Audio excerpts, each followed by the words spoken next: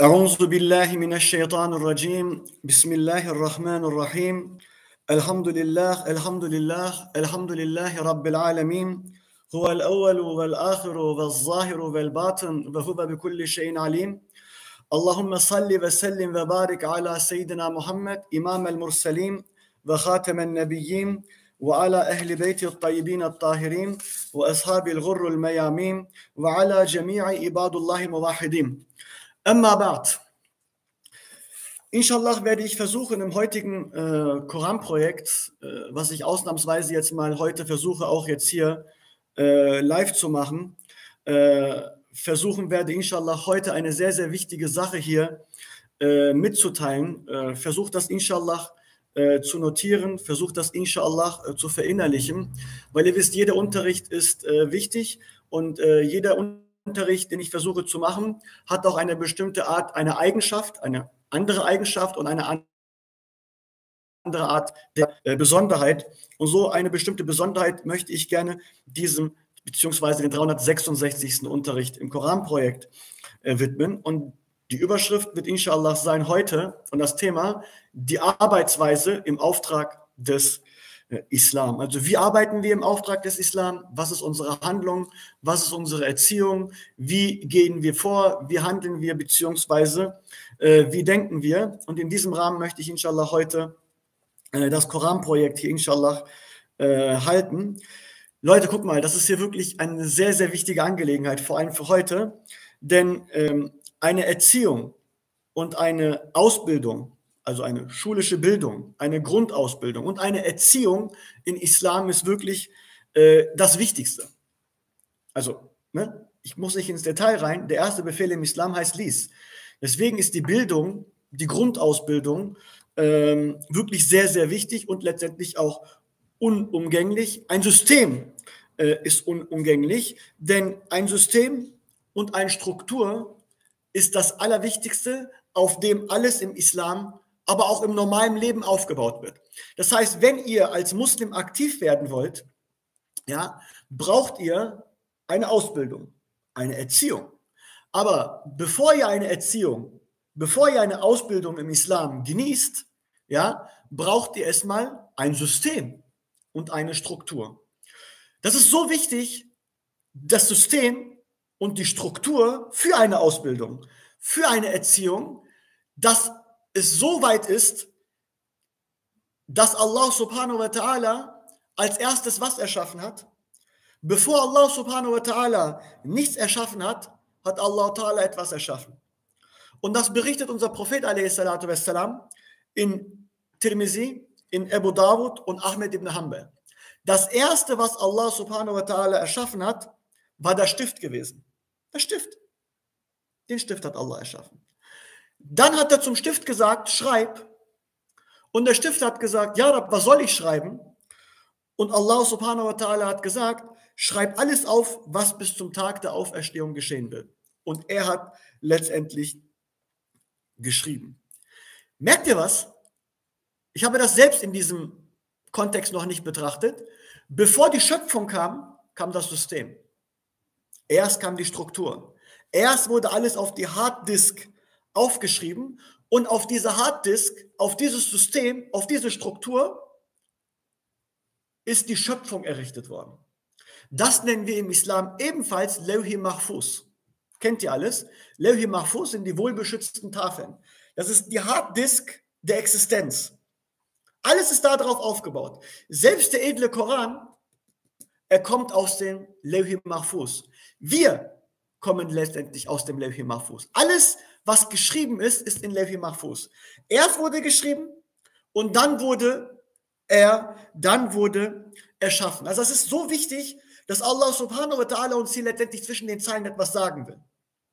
Schaut mal, bevor ihr anfängt mit etwas, braucht ihr eine Struktur, braucht ihr ein System. Und glaubt mir mal, in den ganzen Jahren habe ich selbst bemerkt, die Muslime, die wollen etwas machen. Ja, Ari, wir wollen aktiv werden. Wir wollen etwas machen. Und ich sage immer, das habe ich dir auch dieses Jahr gesagt, guck mal, wenn wir inshallah irgendwann mal in Masjid al-Haram gehen, im Ramadan, in den letzten zwei Wochen, was macht ihr dort? Was macht ihr im Masjid Haram? Was macht ihr im Masjid Nabawi? Was macht ihr auf dem Berg Hira? Was macht ihr auf dem Berg Jabal Thawr?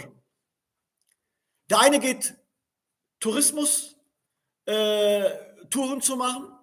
Der eine macht das, der eine macht irgendwelche Doas. Alles ist wichtig. Ibadat ist wichtig. Aber das Allerwichtigste, was ich versuche immer wieder zu machen, ist, einen Plan fürs ganze Jahr zu machen. Da sitze ich da im Masjid Haram oder in der Moschee unseres Propheten oder auf dem Berg Hira und sage dann, was können wir für dieses Jahr Wichtiges machen? Und ich denke wirklich drüber nach. Und natürlich notiere ich mir das. Ja, warum? Weil erstmal brauchst du einen Plan. Und leider in den Menschen, bei den Menschen, vor allem bei mir in der Umgebung, auch in den ganzen Menschen, die ich in den ganzen, meinen ganzen über 40 Jahren kennengelernt habe, ist, dass diese Struktur nie geherrscht hat. Man wollte willkürlich etwas machen. Ja, wir machen Achi. Bruder, wir machen Achi. Und nirgendwo ein System war da gewesen. Und deswegen sagen wir, bevor überhaupt etwas, irgendwas geschieht, und heute das Thema ist letztendlich auch unsere Plattform Auftrag des Islam, müssen wir ein System machen, eine Arbeitsweise, eine Erziehung aufbauen. Wie gehe ich überhaupt vor? Wie gehen wir vor? Und darauf bauen wir all unsere Aktivitäten auf. Das möchte ich heute mit euch besprechen. Also heutiger Unterricht wird sein, inshallah, was sind unsere Aktivitäten, was unser Erziehungssystem und was oder sei es letztendlich als ähm, Plattform insgesamt. Das Levi Mahfuz in Anführungsstrichen. Nicht falsch verstehen, wir brauchen erstmal die Struktur. Und das wird inshallah unser heutiger Unterricht sein. Und dieses äh, System und diese, dieser Weg, den wir gehen oder den wir gehen müssen, äh, beginnt letztendlich mit einem Schritt. Und ein Bruder hat das äh, letztens noch zu mir gesagt, vor ein paar Tagen, der schwerste, der schwerste Schritt ist wirklich der erste Schritt. Und ich sehe es, die meisten Leute, die sagen, wir fangen bald an, wir fangen bald an, wir fangen bald an. Und beim meisten sehe ich nicht den ersten Schritt. Wir brauchen den ersten Schritt. Aber dann brauchen wir auch den zweiten, den dritten, den vierten Schritt. Und diese Schritte habe ich heute aufgezeichnet. Diese Schritte habe ich aufgezeichnet. Wer diese Schritte gehen will, und ihr müsst sie normalerweise gehen, weil es islamische Fundamente hat. Diese Leute sind genau wie unserem Unterricht, den wir letztendlich jetzt bearbeiten, in der Surah Bakara im 67. bis zum 71. Vers, ist unsere und eure eigene Kuh zu schlachten. So wie die Kinder in Israels durch Musa a.s., durch Moses befohlen worden ist, eine Kuh zu schlachten. Und sie haben dann angefangen, in diesen Versen zu sagen, ja, was soll das, eine gelbe Kuh, eine braune Kuh, wie soll es sein, soll sie groß oder klein sein, etc. Und beinahe hätten sie sie nicht geschlachtet. Darum ging es eigentlich, warum ging es bei dieser Kuh? Um den Göttern ihrer Feinde. Der Pharaon. Das haben sie nämlich in ihren Herzen gehabt. Das sollten sie schlachten und sie haben es fast nicht hinbekommen, aber zum Schluss haben sie es noch geschlachtet. Nach tausend Fragestellungen. Und unsere Kuh, die wir zu schlachten haben, also unser eigenes Ego, sind nämlich genau diese Punkte, die ich heute mit euch aufzählen äh, werde.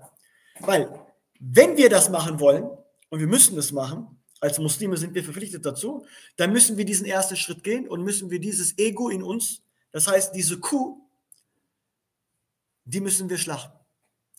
Und ich sage es immer wieder, haltet bloß die Tawarit, die Götzen, Lat, Menat, Uzza, die Pharaonen, Belams, Karuns, ja, bloß nicht so weit. Die sind in unseren Herzen drin. Und das ist das Problem, dass wir als Gemeinschaft, ja, als Jamaat oder als Plattform oder als äh, Gemeinde das nicht machen können. Und genau das wird inshallah unser äh, Unterricht von heute sein.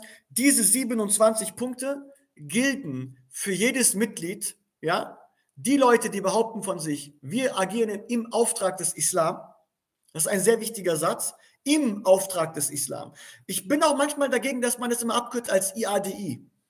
Was ist denn IADI? Im Auftrag des Islam. IADI ist unsere Hilfsorganisation. Insani Adalet Dayanışma ve İlim.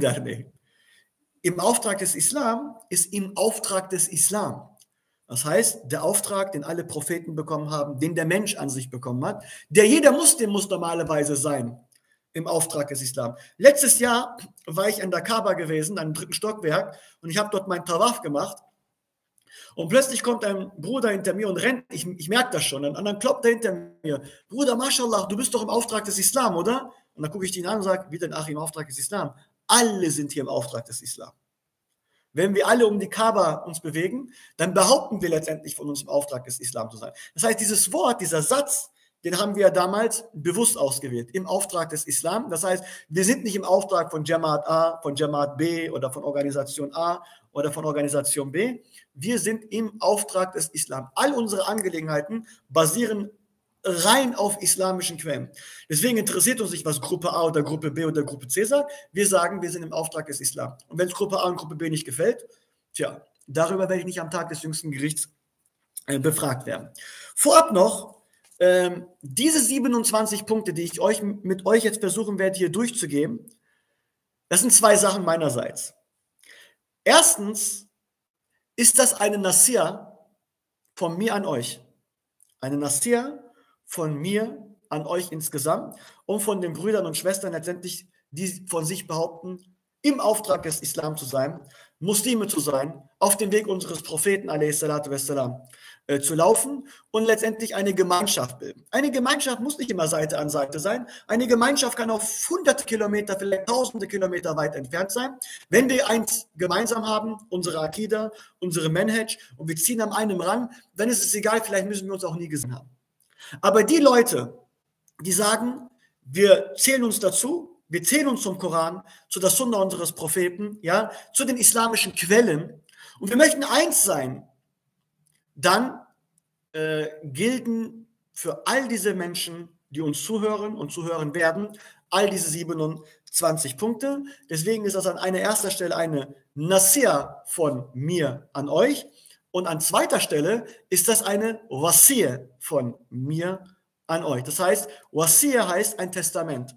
Also wenn mir heute oder morgen oder übermorgen etwas geschehen sollte, ich habe einen Autounfall, ich werde entführt, ich werde getötet oder irgendetwas kann passieren. Der Mensch, keiner hat, keiner hat eine Garantie für die nächste Sekunde. Aber sollte mir irgendetwas passieren, heute oder morgen oder übermorgen oder irgendwann, gelten diese 27 Punkte, inshallah ta'ala, für immer von mir, inshallah, äh, als Testament, weil diese 27 Punkte, die ich äh, zusammengefasst habe, als Arbeitsweise, als Erziehung äh, für einen normalen Muslim, für eine normale Muslime, also quasi im Auftrag des Islam, für einen aktiven Menschen.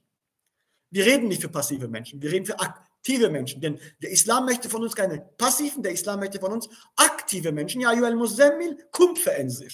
Kum, steh auf, veränsir und äh, warne äh, die Menschen. So gilt das natürlich für all diese Leute, inshallah, auch für die Zukunft sowohl als Nasir als auch als Wasir.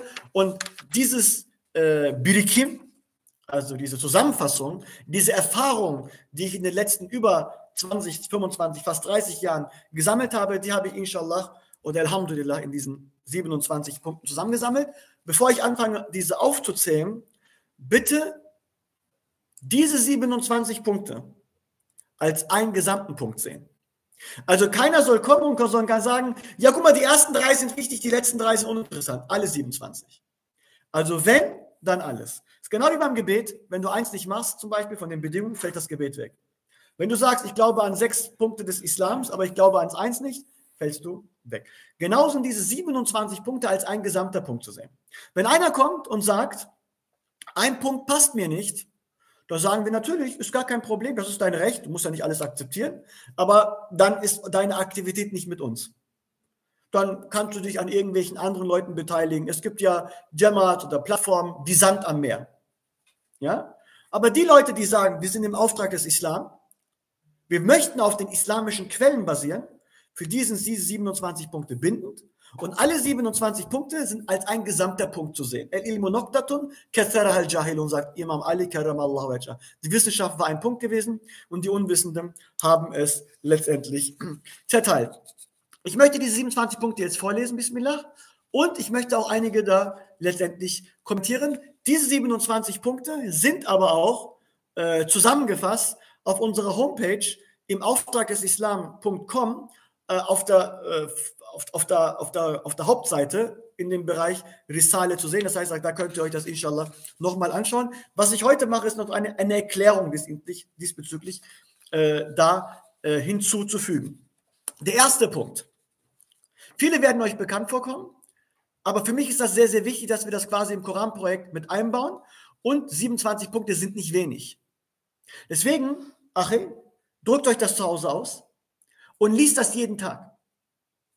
Und misst euch danach. Das heißt, heute könnt ihr zum Beispiel die ersten fünf machen, aber übermorgen könnt ihr die anderen fünf machen. Vielleicht in einem Jahr könnt ihr die anderen fünf machen. Aber versucht das, dass ihr spätestens in einem halben Jahr oder in spätestens in einem Jahr, für die, die äh, noch nicht so weit sind, versucht inshallah auf diesen Punkt zu kommen, dass ihr alle 27 Punkte macht. Das, das soll eure Arbeit sein. Der Bruder Asad hat letztens eine Frage gestellt, was ist euer Ziel im Leben als Muslim? Da hat jeder was anderes geantwortet. Äh, das ist unser Ziel als Muslim. Diese 27 Punkte, inshallah. Und davon ist ein Teil für euch, also für uns, der uns bindet, als das als Individuum, was wir an uns ändern müssen. Und das andere ist äh, letztendlich für die Gesellschaft und wie wir mit der Gesellschaft um uns letztendlich äh, umgehen. Der erste Punkt. Wir als im Auftrag des Islam sind eine Medienplattform. Das möchte ich immer sehr unterstreichen. Eine Medien, also grundsätzlich sind wir eine Medienplattform. Ja, wir sind keine islamische Bewegung oder sowas oder eine Jamaat, die international agiert. Nein, wir sitzen mit den Füßen auf dem Boden.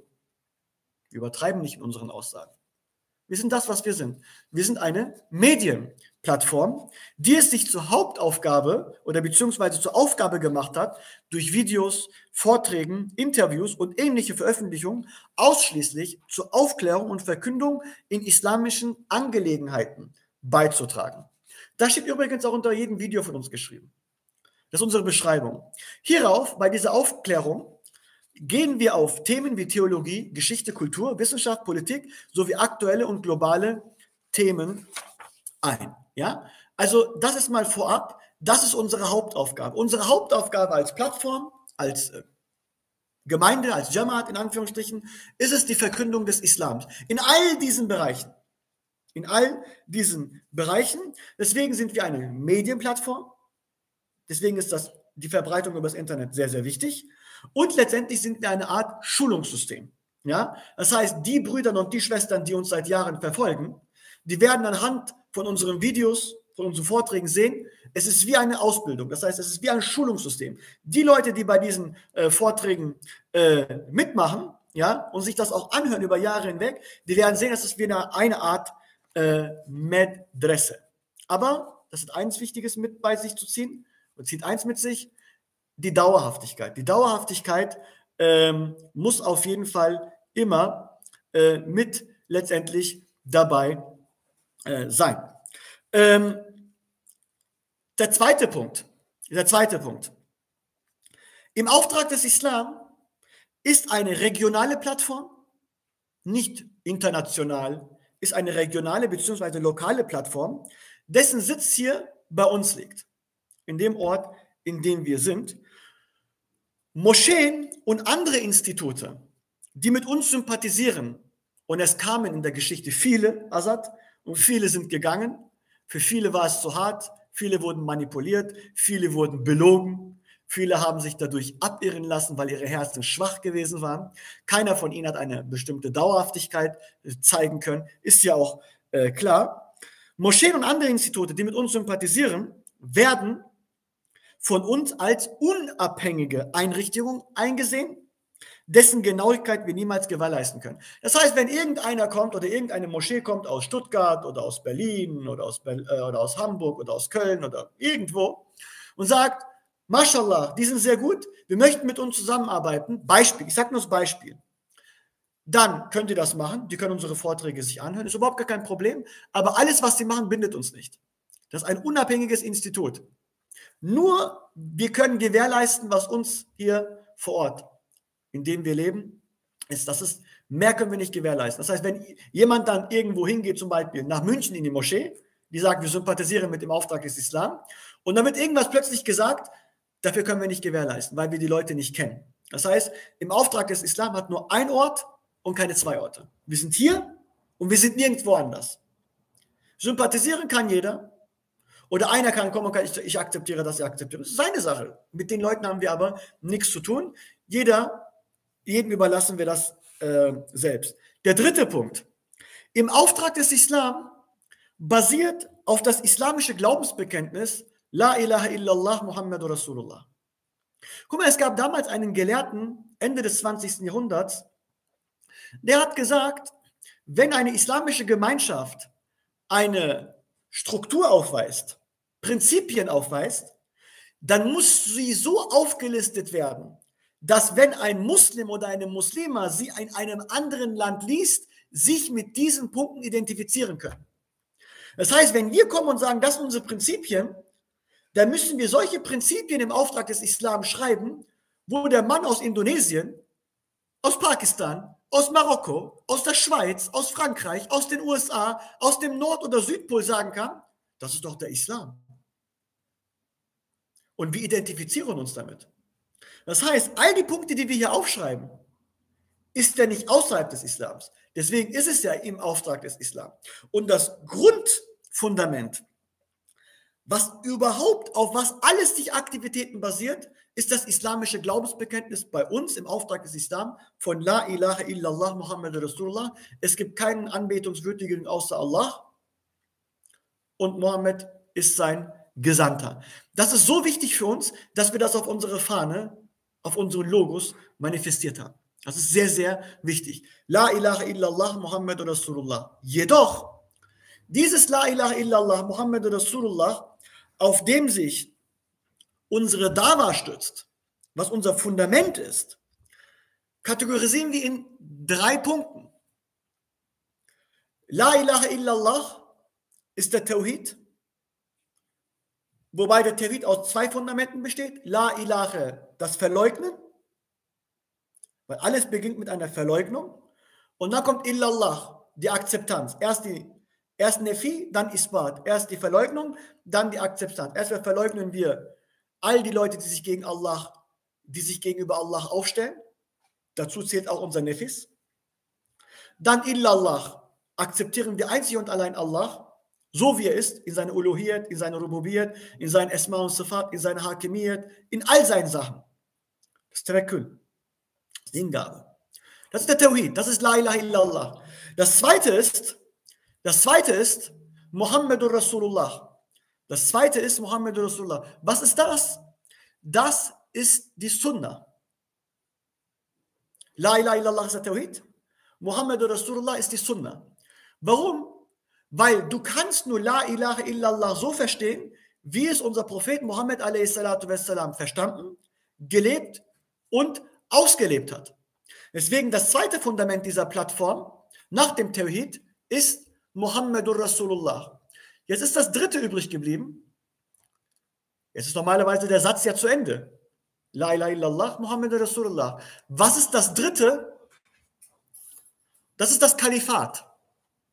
Jetzt wirst du aber sagen, ach hey, schön und gut, La ilaha illallah ist Tawhid, Muhammad Rasulullah ist Sunnah, wo ist das Kalifat?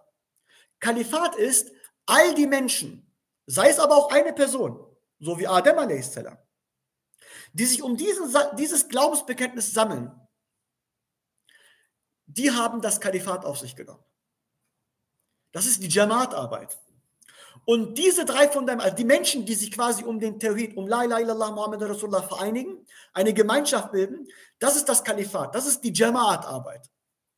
Und nur, pass auf, nur durch diese drei Punkte sitzt ein Hocker. Wenn du einen Stuhl hast mit zwei Stelzen, sitzt er nicht. Wenn du aber einen Stuhl hast mit drei Stelzen, sitzt er. Drei Stelzen. Er rotiert nicht. Und glaub mir mal, drei sind besser als vier. Weil durch vier kann ein Hocker sagen, eins ist zu kurz, dann wackelst. Aber wenn du drei Fundamente hast, dann sitzt du. Und das ist sehr wichtig. Als dritter Punkt bei uns im Auftrag des Islam. Tawhid, Sunnah, Kalifat. Ihr könnt das Wort Kalifat auch wegnehmen, wenn, ich, wenn, wenn, wenn sich das für euch zu politisch anhört, wobei unser Erschaffungsgrund in der Surah Bakr am 30. Vers der Kalifat ist. Da können wir auch Jamaat sagen oder Gemeinschaft sagen. Also lasst euch das durch das Wort Kalifat nicht irritieren. Das kann auch Gemeinschaft heißen. Nur dann sind wir auf dem Islam.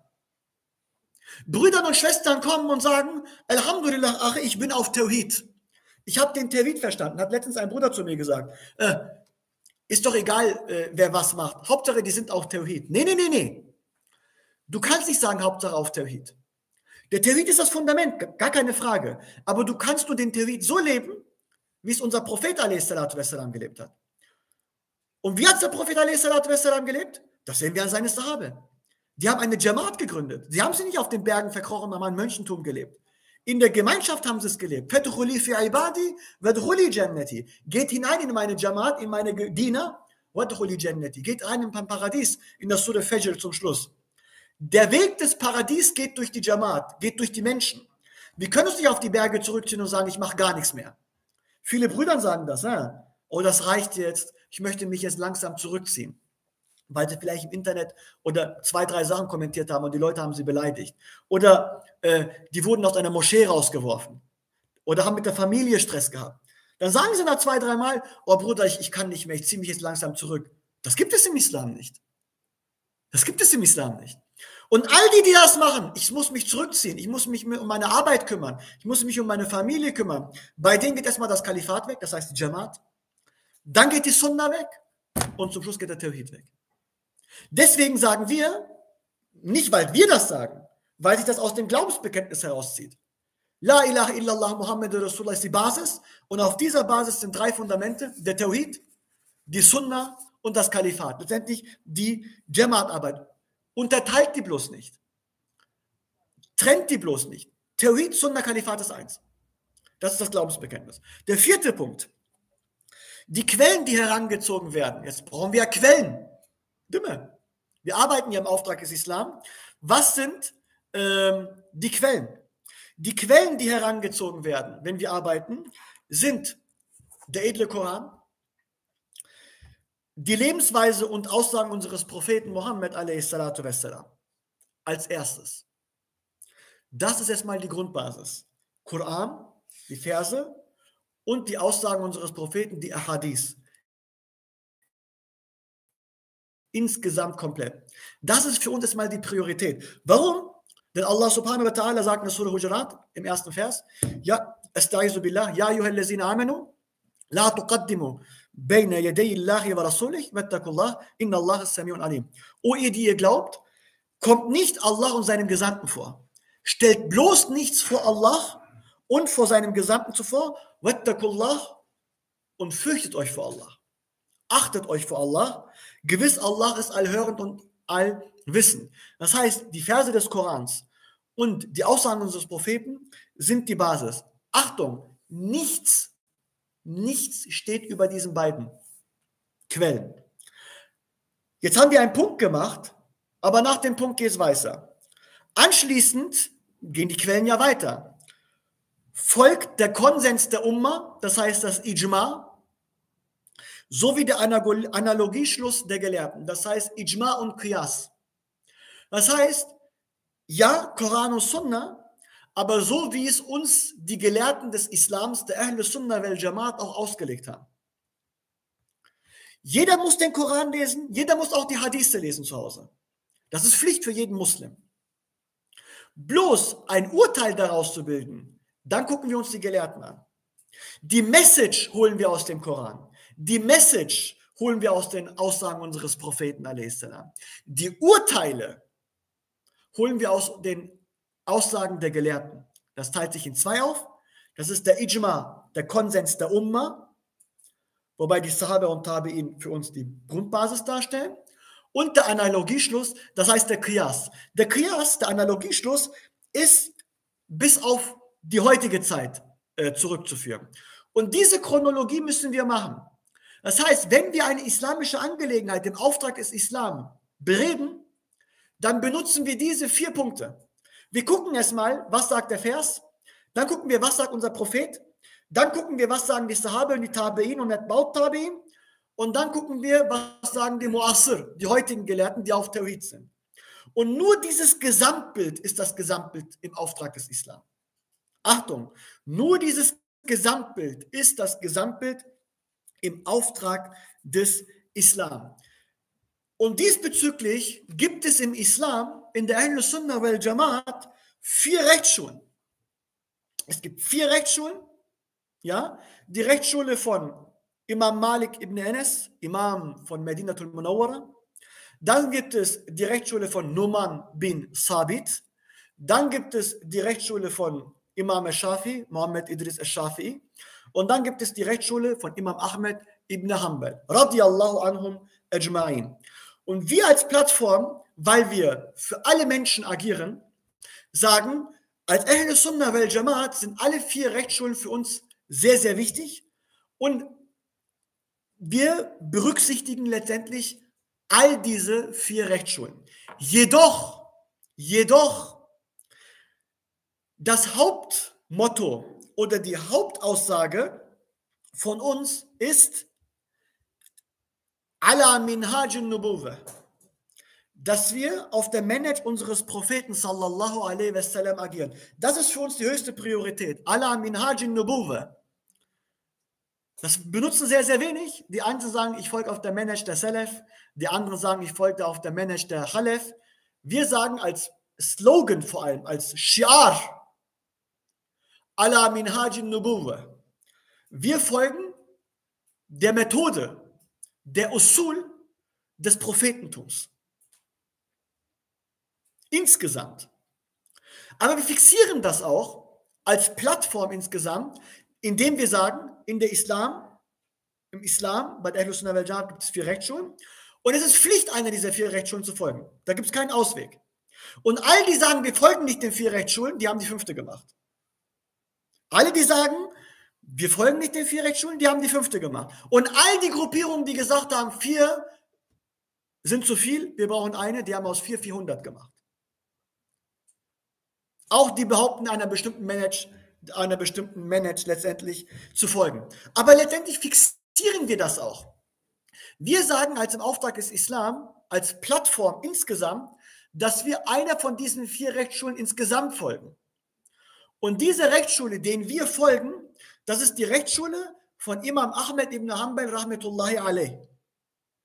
Wir berücksichtigen alle, guck mal, wir berücksichtigen alle, aber der Standpunkt, den wir vertreten als insgesamt Plattform, ja, ist, ist die Rechtsschule von Imam Ahmed ibn Hanbal, rahmetullahi alayh.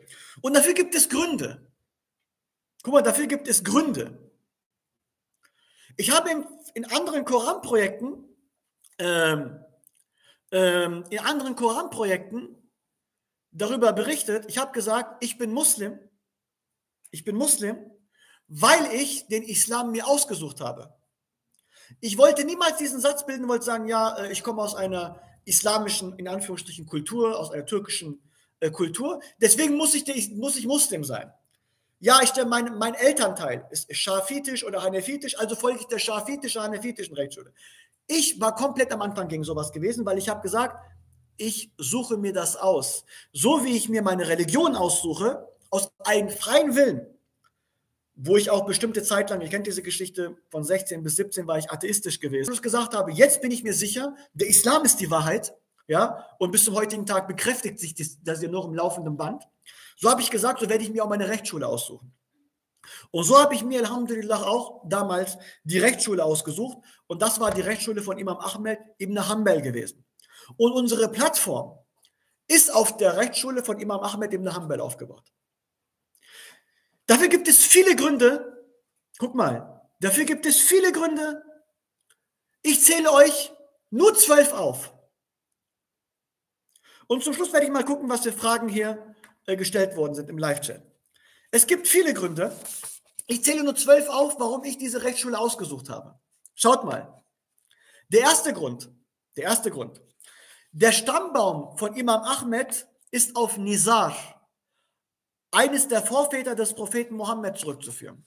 Nizar ist der dritte, vierte Enkelkind von Adnan. Von Adnan. Deswegen ist über Nizar Imam Ahmed ibn Hanbal mit unserem Propheten Mohammed wassalam, verwandt. Im Stammbaum. Das heißt, dass Imam Ahmed ibn Hanbal vom Stamme des Propheten Ismail a.s. ist. Imam Ahmed ibn Hanbal ist vom Stamme des Propheten Ismail a.s. Der zweite Grund. Imam Ahmed wurde aufgrund seiner Haltung und von seiner Stellung vom damaligen System ermordet und zum Märtyrer. Ihr kennt die Geschichte mit Michne. Er wurde durch das abbasitische System gefangen genommen, ist letztendlich dadurch Schahid geworden. Der dritte Punkt. Er ist die letzte der vier Rechtsschulen und hat daher alle anderen im Gesamtüberblick. Das heißt, es gibt vier Rechtsschulen und Imam Ahmed ibn Hanbal ist die vierte davon. Das heißt, dass er über das Ijtihad von Numan bin Sabit, also Abu Hanifa, sein richtiger Name ist Abu, äh, Numan ibn Sabit, äh, er hat die Sichtweise von Numan bin Sabit gehabt, er hat die Sichtweise von Imam Malik gehabt, er hat die Sichtweise von Imam Shafi gehabt. Das heißt, er hat alle anderen drei Mesahib kontrolliert unter sich, weil er kam äh, parallel zum Schluss. Er hat zeitgleich mit Imam Malik, letztendlich auch mit äh, Imam Shafi äh, gelebt. Das heißt, er konnte diese komplett analysieren. Es weiß, wenn jemand zum Schluss kommt, ist es meistens sehr, sehr interessant, weil er die Leute im Gesamtüberblick hat. Deswegen sage ich zum Beispiel, sind für mich in der Geschichte zwei Personen immer sehr, sehr wichtig, politisch gesehen. Das ist an erster Stelle Ali ibn Abi Talib, weil er der vierte der vier Kalifen gewesen war, und Abdul Hamid Han, weil es das, weil es, da, weil es das letzte Fundament gewesen war. Nachdem das gebrochen ist, Abdul Hamid Han, am 27. April 1909, ist die Handbremse gelöst und das Auto ist komplett gegen die Wand gefahren. Das hat natürlich einige Jahre gedauert. Und weil die Leute, die zum Schluss kommen, einige Sachen immer im Gesamtüberblick haben, ist das eines der Gründe, für die Rechtsschule von Imam Ahmed ibn Hanbal. Der vierte Punkt, warum die Rechtsschule? In dieser Rechtsschule haben die Aussagen des Propheten die meiste Priorität. Das stimmt. Da Imam Ahmed ibn Hanbal sehr stark von den Ahl Hadith ist, wobei Imam Malik und Imam Shafi auch zu den Ahl Hadith zählt, ja, hat Imam Ahmed ibn Hanbal die Hadithe, das heißt die Aussagen unseres Propheten, am meisten zur Priorität gesetzt. Er hat gesagt, darüber geht gar nichts. Und er hat darüber auch kein Istat gemacht. Er hat gesagt, wenn unser Prophet das sagt, Punkt Tralas. Der fünfte Punkt, er befolgte den Propheten wassalam, so sehr, Imam Ahmed, dass er erst mit 40 Jahren anfing zu unterrichten. Das heißt, der Prophet wassalam, hat mit 40 Jahren angefangen, den Islam zu verkünden. Imam Ahmed hat gesagt, bevor ich mein 40. Lebensjahr nicht erreicht habe, werde ich nicht anfangen, Fetwa zu geben oder zu unterrichten. Und subhanallah, das stimmt wirklich mit 40 Jahren erreicht der Mensch erst wirklich seine, sein Zenit, seinen höchsten Punkt. Und was er vorher gesagt hat, korrigiert er meistens. Aber mit 40 hast du vieles erlebt. Vieles erlebt. Ja? Und deswegen hat er gesagt, so hat es der Prophet gemacht, so mache ich es auch. Er fing mit 40 Jahren an zu unterrichten. Der sechste Punkt, warum die Rechtsschule. Auf Imam Ahmed, Rahmetullahi alayh, treffen zwei Kanäle der Sahabe aufeinander. Der Kanal von Ibn Masud und der Kanal von Ibn Umar. Radiallahu anhum ajma'in. Das heißt, wir haben heute vier Rechtsschulen. Diese vier Rechtsschulen gehen auf die Sahabe zurück. Dümme. Und die Sahabe gehen auf wen zurück? Auf den Propheten. Aber der Weg, der Kanal über die Sahabe zu den vier Rechtsschulen hat zwei Sahabe im Fundament. Natürlich sind es mehr. Das erste ist Ibn Umar, das sind die Ahl Hadith. Und dann das zweite ist Ibn Mas'ud, das sind meistens die Ahlirei. Wobei im Fundament beides Ahlirei Hadith ist eigentlich. Ibn Masud geht auf Abu Hanifa hin. Ibn Masud ist der einzige Kanal, über, der zu Ibn äh, Abu Hanifa führt. Ibn Umar geht aber auf Imam Shafi und auf Imam, Imam Malik zurück. Imam Ahmed hat beide Kanäle genommen. Sowohl die von Ibn Masud als auch den Kanal von Ibn Ömer. Das ist sehr, sehr wichtig. Zweitens, oder beziehungsweise siebter Punkt, in dem Zusammenhang mit dem sechsten Punkt, also auf diese zwei Kanäle von Ibn Masud und Ibn Umar, Imam Ahmed erhielt von vielen Gelehrten Unterricht. Jedoch von zwei wichtigen Gelehrten des Islams. Das erste ist Abu Yusuf und das zweite ist Imam Shafi'i. Wer ist Abu Yusuf? Abu Yusuf ist eins der wichtigsten Schüler von Abu Hanifa, von Numan bin Sabit. Imam Shafi reicht. Imam Shafi ist Imam Shafi'i. Und Abu Yusuf und Imam Shafi haben beide Imam Ahmed ibn Hanbal unterrichtet. Das heißt, diese Kanäle führen auch nochmal zusammen. Wobei er natürlich von vielen anderen Unterrichte genossen hat. Der achte Punkt. Was sind die zwei wichtigsten Quellen im Islam nach Koran? Imam Bukhari und Imam Muslim. Die zwei Quellen. Das heißt, wenn ein Hadith bei Imam Bukhari vorkommt und Imam Muslim vorkommt, dann sagen wir das so, Shaykhain oder Sahihain, Mutawatir, Muttafakun alayh. Das heißt, die erste Quelle nach dem Koran ist Buhari und dann kommt Muslim. Beide, sowohl Buhari und sowohl Imam Muslim, haben beide von Imam Ahmed gelernt. Guckt da, merkt ihr was? Imam Ahmed ist genau zwischen zwei Sachen.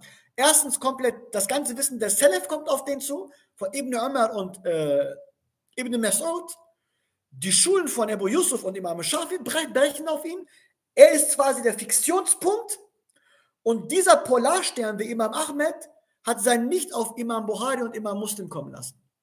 Das heißt, er ist quasi ein Polarstern in diesem ganzen Ablauf. Der neunte Punkt, der neunte Punkt, ähm, Sayyid Abdul Qadir Gailani, Sayyid Abdul Qadir Gailani, bei dem es einen Konsens aller Gelehrten gab, folgte der Rechtsschule von Imam Ahmed. Weil es gibt einen Konsens bei den islamischen Gelehrten, dass Sayyid Abdul Qadir Gailani ein islamischer Eulia gewesen war. Eulia, ich rede nicht vom, vom Gelehrten. Ich gehe noch einen drauf, ich sage Eulia. Eins der besten Freunde Allahs. Einige kommen sogar, Achi, und sagen, erzähl zu den 13. Imam. Also es gibt zwölf Imame der Ahlul Bayt, ne? Und einige sagen, der ist der 13. Wisst ihr warum? Weil seine Vorfahren von Sayyid Abdul Qadir Gailani gehen auf zwei Kanäle des Propheten zurück. Wassalam. Sayyid und Sherif. Wer sind die Sayyid? Sie kommen aus dem Stammbaum von Hussein radiallahu an. Und wer sind die Sherif? Sie kommen aus dem Stammbaum von Hassan radiallahu an. Abdul Qadir Gailani, seine Eltern sind zweigeteilt. Einer war Sayyid und einer war Sherif. Welche Rechtsschule folgte Sayyid Abdul Qadir Gailani? Er folgte der Rechtsschule von Imam Ahmed ibn Hanbal rahmetullahi alayh. Und er hat diese Rechtsschule so gelobt, dass andere Ulema kamen und haben gesagt, er hat in diesem Lob übertrieben. Dass er sogar gesagt hat, kein Evliya kann außerhalb der Rechtsschule von Imam Ahmed kommen. So weit ist er gegangen. Das ist natürlich eine übertriebene Aussage, gar keine Frage, aber das machen Rechtsschulen immer untereinander. Jedoch, sogar bei den Gelehrten, die untereinander Kontrahenten sind, sie einigen sich auf Abdul Qadir Gailani. Ich gebe euch nur zwei Leute. Sheikhul Islam Ibn Taymiyyah und Muhyiddin Ibn al-Arabi. Beide sagen, obwohl Ibn Taymiyyah den Tekfir auf Ibn Arabi ausruft, beide sagen, Sayyid Abdul Qadir Gailani ist ein Euliya. So weit sogar gegangen, dass Ibn Taymiyyah, Rahmetullahi alayh, ein Scherch zu dem Werk von Abdul Qadir Gailani namens Futuhul Raib geschrieben hat. Und sogar, dass in seinem Majmu' al-Fatawa ich habe jetzt den Ort vergessen, wenn ich vielleicht woanders jetzt geschrieben, Allah dass er sagt, ich zähle mich zu der Tarikat von Qadiriyya. Weil das auf der Rechtsschule von Imam Ahmed ibn Hanbal ist. Rahmetullahi. Äh, alle. Der zehnte Punkt, so habe ich das bis jetzt noch nie aufgezählt, aber ich muss das in diesem Zusammenhang machen. Es ist die Rechtsschule mit den wenigsten Mitgliedern. Die meisten Mitglieder dieser Rechtsschule, es gibt vier, alle sind auf Haq. Die meisten Mitglieder sind bei höchstwahrscheinlich Imam Shafi rahmetullahi alayh. Warum? Weil komplett Indonesien dazu gehört. Bei Indonesien bist du schon weg vom Fenster. Das sind nämlich schon mal 300, 400 Millionen mit Jakarta und Malaysia, was weiß ich. Dann folgt die Hanefitische Rechtsschule. Also wir können sagen, Hanefis und Shafis haben so ein Kopf-an-Kopf-Rennen. Wobei die beide ja auch komplett auch in der islamischen Welt zerteilt sind. Und dann kommt die malikitische Rechtsschule. Ja, wo ist die malikitische Rechtsschule verteilt? Hauptsächlich in Nordafrika, hauptsächlich. Aber es gibt auch in Saudi-Arabien bestimmte Punkte der malikitischen Rechtsschule. Jedoch die hambelitische Rechtsschule ist am kleinsten geblieben und sie ist heute fixiert hauptsächlich auf der saudi-arabischen äh, Halbinsel. Der elf, an Hazrat immer sagt doch, Ja Rabbi, mache mich von den wenigen. Ben Aslar, danke. Der elfte Punkt. Herr, bevor was falsch verstanden wird. Eine Rechtsschule der vier Rechtsschulen muss das sagen. Das sagen alle vier Rechtsschulen. weil es alle ja auf Hack sind. Meine Rechtsschule ist richtig, aber die andere Meinung kann auch richtig sein. Das ist wichtig. Meine Rechtsschule ist richtig, weil wenn du eine Rechtsschule folgst, musst du ja sagen, die ist richtig. Kannst du nicht sagen, meine ist, vielleicht kann die ja, nee, die andere ist doch richtig, wie folgt der? Das geht nicht. Meine Rechtsschule ist richtig, weil es eigentlich Staat, aber die andere Rechtsschule kann auch richtig sein, weil es auch eigentlich Staat. So. Und das ist unsere Herangehensweise. Aber wenn wir sagen, wir folgen der Schule von Imam Ahmed, dann müssen wir auch sagen, wir können es begründen bis zum Schluss. Punkt 1, Punkt 2, Punkt. Das mache ich jetzt hier. Ich könnte noch, ich könnte noch zehn Punkte dazu machen. Der elfte Punkt, warum wir der, äh, der hanbalitischen Rechtsschule folgen, der elfte Punkt ist, die Rechtsschule muss heute vom Wahhabismus gereinigt werden. Denn viele denken, Hanbelite sind gleich Wahhabiten und Wahhabiten sind gleich Hanbeliten. Das stimmt nicht. Ibn Jawzi, Abul Faraj Ibn Jawzi, Rahmetullahi alayhi sagt, der Wahhabismus, Entschuldigung, das Tajzim, also Allah zu verkörpern, hat den hanbelitische Rechtsschule so gereinigt, dass kaum sie jemand mehr reinigen kann. Aber er folgte der hanbelitischen Rechtsschule. Warum? Weil diesbezüglich die hanbelitische Rechtsschule noch mehr es nötig hat heute, gefolgt und gereinigt zu werden von den Tajzim und von dem Wahhabismus. Weil Imam Ahmed ibn Hanbal, rahmetullahi alayh, war nicht so gewesen. Dass der nicht so gewesen war, werden wir irgendwann genug sowieso beweisen können. Das ist jetzt nicht unsere Aufgabe von heute. Aber deswegen sagen wir heute im Auftrag des Islam, die Rechtsschule von Imam Ahmed ibn Hanbal, weil der Wahhabismus ist was anderes und die hanbalitische Rechtsschule ist was. Sie unterscheiden sich in hunderten von Punkten. Aber der Wahhabismus ist sehr, sehr nah. Gar, gar keine Frage. Der Wahhabismus ist uns sehr, sehr nah. Aber die gefährlichste Lüge ist diejenige, der der Wahrheit am nächsten ist. Deswegen sagen wir, wir werden die Hanbalitische Rechtsschule verteidigen. Und keiner soll kommen und kann sagen, das sind Hanabil al-Judud. Das sind die Neuhanbaliten. Nein. Ihr habt das Hanbalitische, die Rechtsschule von Imam Ahmed, Rahmetullah, die Allah min Hajj Nubuwa gewesen war, verschmutzt. Und Imam Ahmed war von beiden fern gewesen. Von Tajzim und von äh, Tahrif, das heißt von äh, Jahmiyyah. Deswegen sagen wir, Beides machen wir nicht. Komme ich gleich dazu. Der vierte Punkt, äh, Entschuldigung, der zwölfte und der letzte Punkt, warum die hambelitische äh, Rechtsschule. Ähm, zum Schluss werde ich mir inshallah die Fragen mal hier angucken. Ähm, das Hauptgebiet dieser Rechtsschule ist die arabische Halbinsel, Mekka und Medina. Biladul Haramain ist der Ort, wo die Rechtsschule von Imam Ahmed ibn Hanbal am meisten verbreitet und fixiert ist. Kennt ihr den Hadith unseres Propheten, wassalam? Übrigens steht auch in Raudatul Mutahara geschrieben. Also wenn ihr inshallah mal irgendwann nach Medina geht, äh, wenn ihr irgendwann mal nach Medina geht, dann werdet ihr, wenn ihr in die Rausa reingeht, also quasi wo unser Prophet sagt, ma bayna baiti minberi raudatun min riyadil jannah. Zwischen meinem Haus und meiner Minbar ist eins der Garten, der Garten des Paradieses. Dort steht auf einer Eingangstür dieser Hadith geschrieben unseres Propheten, der Islam wird sich zurückziehen so wie sich die Schlange irgendwann in ihr Loch zurückzieht. Sie wird sich zwischen Mekka und Medina zurückziehen. Meine, irgendwann wird der Islam von der ganzen Welt verschwinden, aber sie wird sich zwischen Mekka und Medina, zwischen diesen beiden Städten, zwischen Mekka und Medina zurückziehen. Und was ist die Rechtsschule in Mekka und Medina? Das ist im Fundament die Rechtsschule von Imam Ahmed ibn Hanbal, das heißt die Ahle Hadith. Imam Shafi sagte über Imam Ahmed, Imam Shafi, der selbst von der Quraysh ist, aber Imam Ahmed ist nicht von den Quraysh, weil die Quraysh kommt später nach Nizar. Imam Shafi sagt über Imam Ahmed, Ahmed ist ein Imam in acht Bereichen. Ein Imam in Hadith, ein Imam in Fiqh, ein Imam im Koran, ein Imam in der Sprache, ein Imam in der Sunna, ein Imam in Sucht, ein Imam in der Frömmigkeit und ein Imam in der Armut. Fakr. Das heißt, er war ein sehr armer Imam gewesen. Ein anderer islamischer Gelehrter namens Ali el-Medeni sagte, wahrlich, Allah hat diese Religion am Tag der Ritter durch Abu Bakr unterstützt und durch Ahmed ibn Hanbal am Tag der Heimsuchung, das heißt der Mihna, der Zeit der Mu'tazila.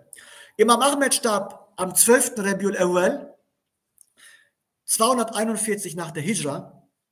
Bei seiner Beerdigung sollen hochgerechnet circa eine Million Menschen teilgenommen haben. Ich habe die Mindestzahl gelesen. Die Mindestzahl fängt bei 600.000 an. geht bis eine Million hoch. Das soll so ein heftiger Tag gewesen sein, der Tag der Beerdigung von Imam Ahmed. Unsere Quellen sagen das, dass an dem Tag 20.000 Juden und Christen zum Islam konvertiert sind. Und so, mit seinem Tod, haben auch die vier Rechtsschulen letztendlich ihr Chitamu Misk bekommen. So, der fünfte Punkt. Der fünfte Punkt. Wir folgen der Aqidah der Ahlus Sunnah wal Jamaat, so wie es Imam Ahmed ibn Hanbal niedergeschrieben hat. Punkt. Jetzt sehr wichtig. Sehr wichtig. Also überlegt euch nochmal ganz genau, das ist sowohl eine Nasihat von mir an euch und das ist so ein, ein was Wasiert von mir an euch. Ein Testament von mir an euch. Das heißt, benutzt dieses immer, inshallah. Auslegungen, welche im Rahmen der Ahl Sunnah wal Jamaat niedergeschrieben wurden, welche der Ash'aira und der Maturidiyah folgen, akzeptieren wir ebenfalls als solche. Verstanden? Die Ahl Sunnah wal Jamaat besteht aus drei Fundamenten. Die Salaf, das Salihin, das heißt die Sahabe und die Tabi'in, die ersten drei Generationen des Propheten, und dann die Ash'aira und dann die Maturidiyya. Alle drei sind Auslegungen der Ahl Sunnah wal Jamaat. Und wir akzeptieren ebenfalls die Ash'aira und die Maturidiyya als eine Auslegung der Ahl Sunnah wal Jamaat. Jedoch, Achtung, folgen wir dabei der Manhaj der Salaf al-Salihin ala minhaj al-Nubuwah. Punkt. Das bedeutet, dass wir als Plattform Ehle Hadith und Ehle Ether sind. Das sind Fremdbegriffe. Das heißt, diejenigen, die die Basis, die Aussagen unseres Propheten als Punkt nehmen und sie weiter nicht interpretieren. Jedoch, diejenigen, die die Aussagen unseres Propheten salam, und des Sahabe interpretiert haben, Achtung, interpretieren mussten, weil die Zeit es gefordert hat, durch die Größe des Islamischen Reiches, durch den Einfluss der griechischen Philosophie, des Hinduismus und durch andere verschiedene Kulturen, die dazu kamen mussten Gegenantworten gegeben werden. Die Gegenantworten dieser Leute, der Philosophen, ist die Antwort der Ash'aira und der Maturidiyya. Und die Ash'aira, die Leute, die der Gelehrten der Ash'aira folgen, sind sehr, sehr viele im Islam. Ibn Hajar, Al-Asqalani, Imam Subki, Al-Baqillani, äh, Imam Suyuti, äh, viele, viele folgen folgten der Ash'aira, sogar Ibn Kassir wird gesagt, dass er der Ash'aira folgte. Also, wenn ihr sagt, die Ash'aira sind nicht vom Islam, wisst ihr, was ihr macht? Ihr nehmt einen Stift und macht 90% der islamischen Gelehrten weg. Der Geschichte. Ich habe jetzt natürlich mit 90% übertrieben, aber mit einem sehr hohen Teil macht ihr weg. Das sind Auslegungen. Die sind wichtig. Die Maturidiyya genauso. Die Esch'aira werden hauptsächlich befolgt von den Schafiten an erster Stelle. Achtung, die Esch'aira befolgten hauptsächlich die Esch'aira. Deswegen hat man damals zu den Schafiten Esch'aira gesagt. Die folgten denen. Dann die, sind die ersten, die die Schafiten sind die Esch'aira. Dann sind die Malikiten Esch'aira. Und glaub mir mal, zum Schluss kommt sogar die Hanbalis, die sagen auch ein Teil ist Esch'aira. Weil wisst ihr, welche Rechtsschule Imam Ebul Hassan al-Ash'ari folgte? Das ist sehr kurios. Er war Hanbalite gewesen. Und wenn du guckst heute, der meiste Streit ist zwischen den Hanabila und der Ash'aira. Ich möchte gar, kein, gar keine Philosophenunterrichte machen, weil das, das zählt nur zu den Punkten, aber ich habe zum Schluss erkannt, was das Hauptproblem zwischen den beiden gewesen war. Das ging gar nicht um der Ash'ari oder Hanbali. Das war ein Volksproblem, das war das irakische Problem gewesen. Der, der Kampf, der war in Bagdad gewesen.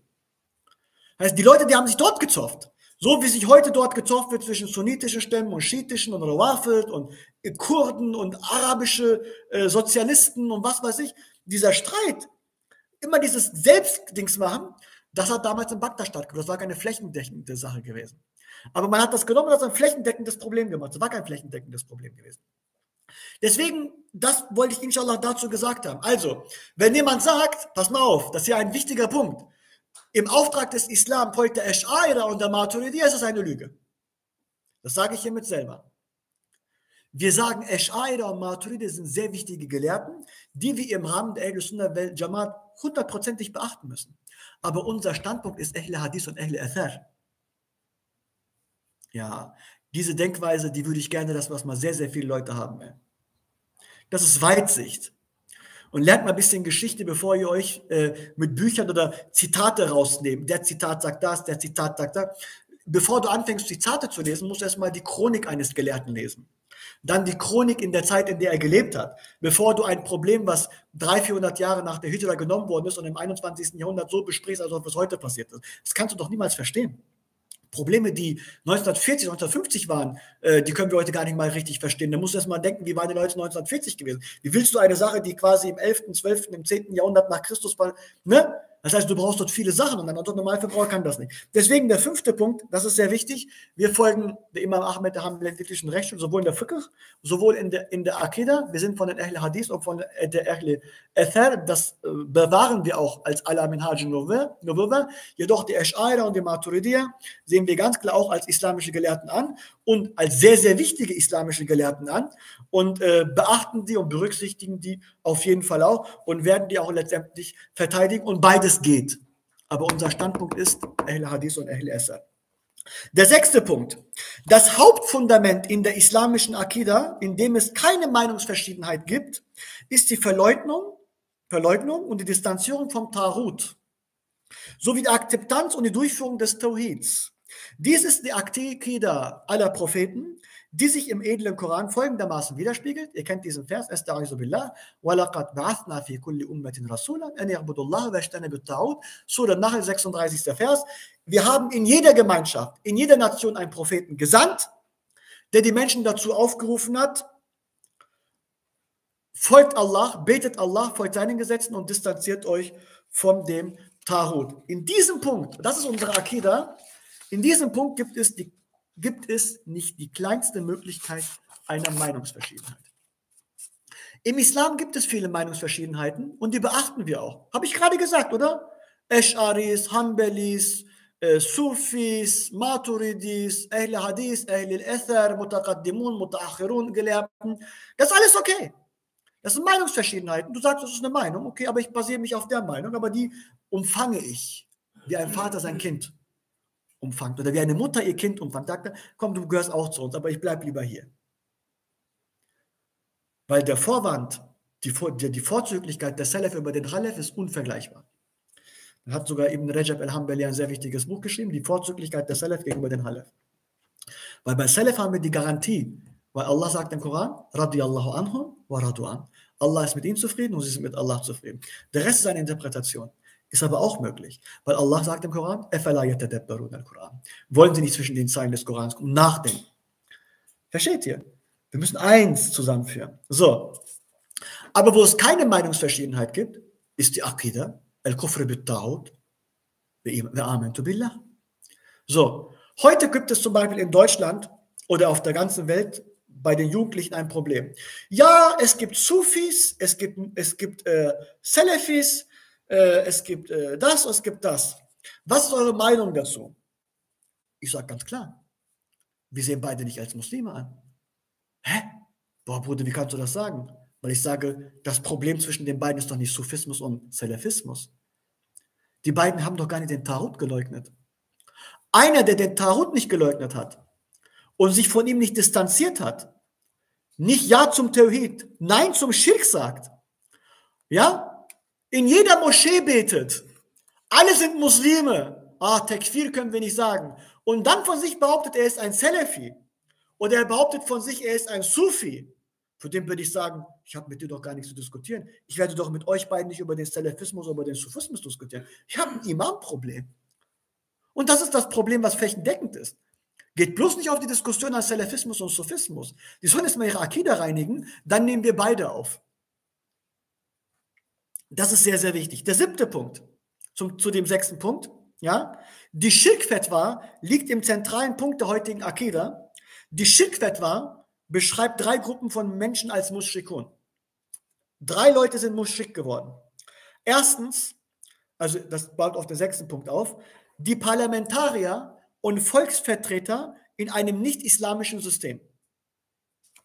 Der zweite Punkt, die Wähler beziehungsweise die sich bei diesen die Unterstützer, die sich bei diesen Wahlen beteiligen. Diese zwei Leute, das heißt die Parlamentarier in einem nicht-islamischen System, in einem säkularen System, ja, mag es heißen, wie es will, und die Leute, welche diese Leute unterstützen. Das kann mit Wahlen sein, das kann finanziell sein, das kann mit mental sein, irgendwie wie ihr das, wie ihr es machen wollt, mit Likes sein.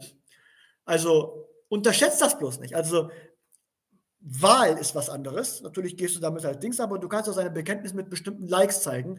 Du kannst zum Beispiel zeigen, indem du kein El Vela Vel Barato den zeigst. Das heißt nicht, dass wir mit den Leuten nicht in Kontakt gehen dürfen. Wir können uns mit den Parlamentariern auch treffen. Wir können uns auch mit Wählern treffen. Wir können mit denen auch reden, aber dann bitte auch über Islam, über Tawhid. Ja, das sagt keiner. Also bitte nicht falsch verstehen. Aber sie sind keine Muslime. So, diese beiden sind keine Muslime. Und der dritte ist, derjenige, der kommt und sagt, ich sehe die beiden als Muslime, sowohl die Parlamentarier als auch die Wähler bzw. die Unterstützer, ja, die sind auch Mushrikun geworden, aus der Religion ausgetreten. Warum? Weil sie die Grenzen Allahs überschritten haben. Allah sagt, das sind Mushrikun und du sagst, das sind nicht Mushrikun. Wer das macht, hat ein Vers verleugnet, hat Verse verleugnet. Also Allah sagt, das ist Muschrik und du sagst, das weiß nur Allah. Kafire kafir demeyen kafirdir. Das ist ein Gelehrten. Und die Mehrheit der Leute, die ich kenne, aus meinem engsten Kreis, aus meiner Familie, die sind Kafir geworden deswegen. Weil sie gesagt haben, ja, wer weiß das außer Allah, ob er Kafir ist? Vielleicht ist er Muslim. Ja, Allah sagt, ist Kafir. Dann kann ich dann sagen, gut, dann mache ich heute Ab Namas ohne Abdest und ich sage, vielleicht akzeptiert es Allah. Kannst du das machen? Kannst du nicht machen. Das ist eine Fiqh-Angelegenheit. Und vielleicht akzeptiert es Allah wirklich, weil er ist ja nicht von seinen Gesetzen abhängig. Auch keine Diskussion. So. Aber bei Akida geht das doch nicht. Aber das machen sie. Deswegen sagen wir, diese drei Leute sind in den Schick verfallen. Was bedeutet das? Pass mal auf, Achtung. Das bedeutet, ja, was heißt denn das jetzt? Du weißt das jetzt als Information. Hängst zu Hause die Schirkwetwa auf. Ja, das ist es nicht. Das bedeutet, dass wir jene nicht als Muslime anerkennen und daher unsere Beziehung mit ihnen in jenem Rahmen führen. Das heißt, in der Praktik bedeutet das, Praktik, es muss in die Praktik jetzt kommen. Die Schickwertweise in der Praktik bedeutet, dass wir hinter ihnen kein Gebet verrichten, dass wir hinter ihnen kein Gebet verrichten, ihnen mit ihnen keine Eheschließung eingehen, ihr geschächtetes Fleisch nicht essen und ihr Totengebet ebenfalls nicht verrichten. Das heißt, diese vier Punkte. Das heißt, wir verrichten hinter ihnen kein Gebet. Also einer sagt zum Beispiel, kennen wir auch einige, der sagt, ich akzeptiere, ich akzeptiere die Schirkwetwa, ich gehe aber bei dir nicht beten. Der hat die Schirkwetwa nicht verstanden.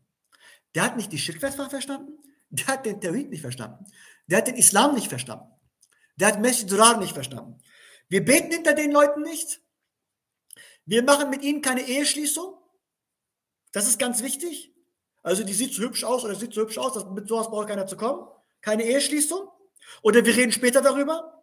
Wir essen ihr Fleisch nicht. Fleisch ist sehr wichtig. Wer beim Fleisch versagt, guck mal, ich habe jahrelang Tawhid erklärt. Ihr doch auch, du, du, Dimme. Wo hat es denn aufgehört bei eurer Familie? Bei den Versen, bei Hadith.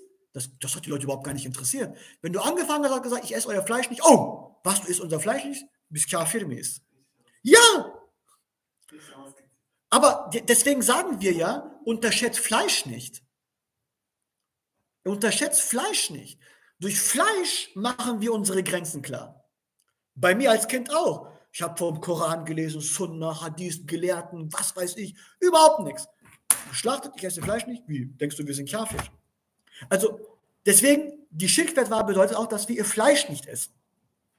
Und das vierte ist, dass wir ihr Totengebet nicht verrichten. Cenaze namazını kılmıyoruz. Ja? Ist traurig, ist aber so, das ist nicht mein Gesetz, das sind die Aussagen von Allah subhanahu wa ta'ala, von unserem Propheten und von unserem äh, Gelehrten und der Islam ist keine lockere Angelegenheit. Heute Morgen hat mich noch ein Bruder gefragt, ja Bruder, wie ist das mit dem Fleisch? Da gibt es doch Meinungsverschiedenheit. Also wer bei Fleisch versagt, und machen wir, sagen wir mal, es gibt Meinungsverschiedenheit. Ja? Sagen wir mal, es gibt Meinungsverschiedenheit. Alter, wenn du für den Islam das Fleisch nicht aufgeben kannst. Fleisch, ja, Fleisch. Heute gibt es Veggie-Fleisch. Wenn du Fleisch nicht aufgeben kannst, wo willst du denn morgen im Gefängnis? Wenn irgendwas passiert. Die Propheten, was haben die ihr Leben geopfert? Essen Gummibärchen, wo keine Gelatine drin ist, ey. Verstehst du? Deswegen unterschätzt das auf jeden Fall nicht. Der achte Punkt, ich will ja auch irgendwann mal weiterkommen.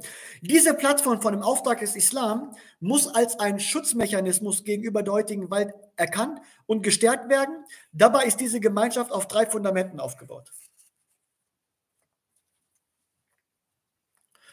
Äh, eine Sache, stopp, stopp, stopp, stopp.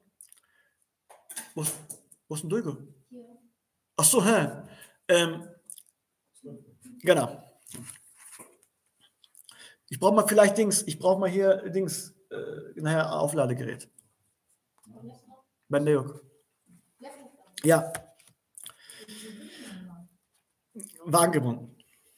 Der achte Punkt, habe ich gesagt, diese Plattform von dem Auftrag des Islam muss als ein Schutzmechanismus, ja, gegenüber der heutigen Welt erkannt und gestärkt werden. Dabei ist diese Gemeinschaft auf drei Handlungen aufgebaut.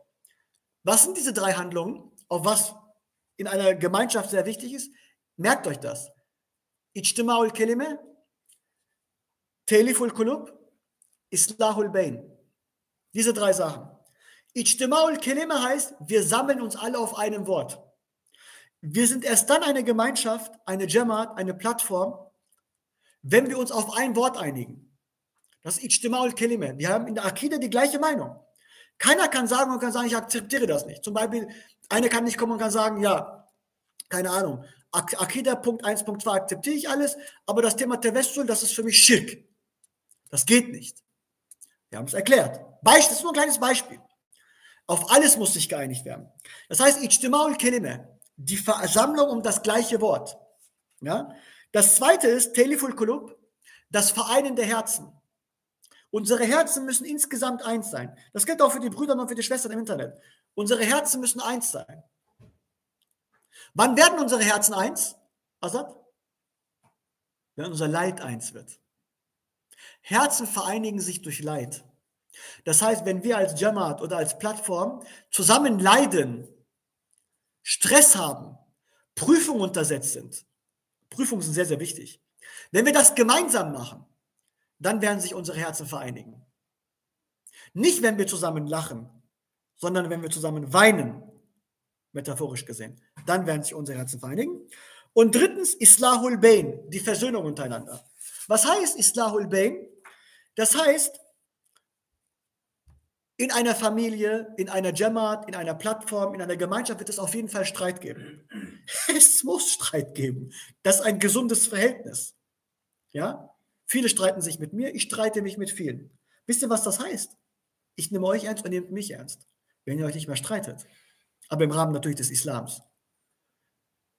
Dann nimmt keiner mehr einen ernst. Wenn ein gesundes Verhältnis ist, dann streitet man sich auch im Rahmen des Islams. Ja? Aber das Ziel ist es nicht zu streiten. Das Ziel ist es, nach dem Streiten wieder zu versöhnen. Deswegen achtet darauf, dass ihr nicht Menschen seid, die nachtragend sind. Es gibt viele Leute, die kennen diesen Nachtragen. Hört mit Nachtragigkeit. Das ist eine gefährliche Sache. Lass uns streiten, lass uns diskutieren, aber lass uns das nach fünf Minuten wieder vergessen. Tamam? Deswegen, Ijtima'ul Kalime, Teliful Kulub, Islahul Bain. Das Wort muss eins sein, die Herzen müssen eins sein und die Versöhnung untereinander muss zusammen sein. Dafür gibt es auch ein Vers aus der Surah Muhammad, aus dem 19. Vers, Astaizu billah, fa'alam annahu la ilaha illallah wa astaghfir li zambik wa lil mu'minina wal mu'minat wallahu ya'lamu taqallabakum wa Vakuum. Wisse also, dass es keinen Gott außer Allah gibt. Und bitte um Vergebung für deine Sünde. Teleful Kulub, die Herzen müssen weich werden. Und für die gläubigen Männer und die gläubigen Frauen auch Islahul Bain. Allah kennt euren Wandel und euren Aufenthalt. Hoja Rahmetullahi alayhi hat diese drei Punkte gesucht, also ge gegeben, aber ich habe den Delil in der Surah Muhammad im 19. Vers gesehen. Und übrigens, in einem anderen Vers steht geschrieben, Folgt Allah und folgt seinen Gesandten. Und streitet nicht miteinander. Sonst würdet ihr den Mut verlieren und eure Kraft würde zu Ende gehen. Wasbiru und seid standhaft. Inna Allah sabirin, denn Allah ist mit den Standhaften. Allah ist mit den äh, Geduldigen. In einem anderen Vers kennt ihr das Surat, wenn zwei muslimische Gruppen untereinander streiten, dann schriftet Frieden zwischen denen. Aber sollte der andere weitermachen, dann kämpft gegen diejenigen, die provokativ sind. Und was machen wir als Plattformauftrag des Islam? Wenn zwei islamische Meinungen miteinander kämpfen, kämpfen natürlich metaphorisch gesehen, Halef, Selef, Mutakaddimun, Mutaakhirun, was sagen wir? Komm, komm, mal her. Wir suchen Frieden unter euch.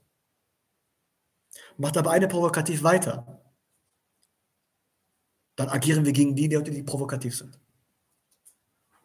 Wir folgen als Plattform, pass mal auf, wir folgen als Plattform der Rechtsschule von Imam Ahmed, auch der Akida von Imam Ahmed ibn Hanbal. Wir als Plattform haben aber den Wahhabismus den größten Schlag in Deutschland gegeben. Warum? Weil wir gesagt haben, pass auf, ihr seid in bestimmten Sachen falsch. Und sie haben weitergemacht, weitergemacht, weitergemacht. Und da haben wir, wir eine super Redir dazu gemacht, als Plattform insgesamt. Also sehr, sehr wichtig, ja. Und äh, über das Streiten, das aber fortführt. Mit dem Streiten aber auch diskutieren. Ein Bruder kommt her und sagt, Bruder, was denkst du über den? Ein Bruder, was denkst du über den Prediger? Was denkst du über das? Und immer dieses Diskutieren. Immer streiten, dass dieses Streiten zum Achlak wird. Nicht zu einem gesunden Verhältnis. Da sagt unser Prophet wassalam, in Tirmizi und Ibn Majah, Ma qawmun ba'du hudam, kanu alayhi illa utul jadal. Sehr wichtig. Nachdem ein Volk die Rechtleitung bekommen hat, kann es nur irre gehen, wenn es sich in Streitigkeiten hervorruft. Sehr wichtig. Ja? Der neunte Punkt. Die BA. BA ist sehr, sehr wichtig. Was heißt BA? BA heißt Bayat etmek, das heißt ein Versprechen geben. Auf Deutsch, Update 21. Jahrhundert, ein Vertrag eingehen. Ja? BA heißt ein Vertrag eingehen. Ein Abkommen schließen. Die BA auf die Prinzipien, die wir gesagt haben. Und dessen Weg, so dessen Lehre, muss abgeleistet werden. Jeder muss ein Versprechen dafür geben. Warum? Um dieses System bewahren und fortzuführen. Weil das ist die Salaf, das ist die, das ist die Manage und das Usul unseres Salaf hin. Auch danach hat man das gemacht. Und BA macht man nicht nur an Kalifen oder ein, ein, ein Imam oder ein Emir, man kann auch andere BAs machen. Und diese Sachen sind sehr wichtig, weil damit macht man ein Versprechen. Man sagt, wir haben einen Vertrag heute. Heute kommt die, heute kommt die westliche Kultur und macht für jeden Kram einen Vertrag. Für jeden Telefonvertrag, das Vertrag, das Vertrag, das Vertrag. Für alles wird ein Vertrag gemacht. Also die Verträge, die bilden das Sozialsystem in Deutschland. Das ist auch gut so. Ich finde das sehr, sehr gut. Also, wenn morgen ein richtiges Kalifat kommen würde, würde ich das deutsche, deutsche System fast zu 90 Prozent übernehmen. BGB. Und dieses BGB-Vertrag, natürlich jetzt nur, ist BA. Müsste man hep Beatlaşıyor. Hat unser Prophet a.s. eine BA genommen? Hä? Nö. Der Prophet hat nicht eine BA genommen. Fetti. Der Prophet hat nicht eine BA genommen. Er hat vor Medina eine BA genommen, in Akabe. Zweimal. Erster Akabe-Vertrag, zweiter Akabe-Vertrag. Er kam nach Medina, hat nochmal ein BA genommen. Vor Bedr nochmal eine BA genommen. Zwischenzeitlich hat er zu bestimmten Sahabe bestimmte BAs genommen. Einer sagt, ja Rasulullah, für was soll ich BA machen? Der sagt, dass du keinen Schirk machst, dass du auf Tawhid bleibst, dass du, dass du dein Gebet machst, dass du dein Zekat gibst, dass du für jeden Muslim eine Nasihat machst. Für Nasihat hat eine BA genommen. Die Frauen sind aus Mekka abgehauen, sind zu den Muslimen nach Medina gekommen. Im Koran gibt es ein Vers, wenn die Frauen abhauen zu den Männern, dann sollen sie auch Bay'ah machen in Punkten wie, sie machen keinen Sinner, sie sollen ihre Kinder nicht töten und so weiter und so fort. Der Prophet hat Beat genommen unter dem Baum von Ridwan. Beat Ridwan, steht im Koran geschrieben. Also, das heißt, es gibt eine Bea, ein Kalif wird gewählt, man gibt eine Bea. Die Shura gibt eine Bea, die Ehle Halbe gibt eine Bea, das Mejlis gibt eine Bea und die Volksvertreter geben eine Bea. Also, warum sage ich das? Bea ist so wichtig im Islam, dass auf jeden Fall ein Muslim unter einer Obhut der Beat sein muss. Nenn du es, wie du es willst. Und man kann eine Beat auch für den Unterricht nehmen. Hoja Rahmetullahi Ali hat für die zwölf Wissenschaften Be'at genommen. Be'at heißt Vertrag.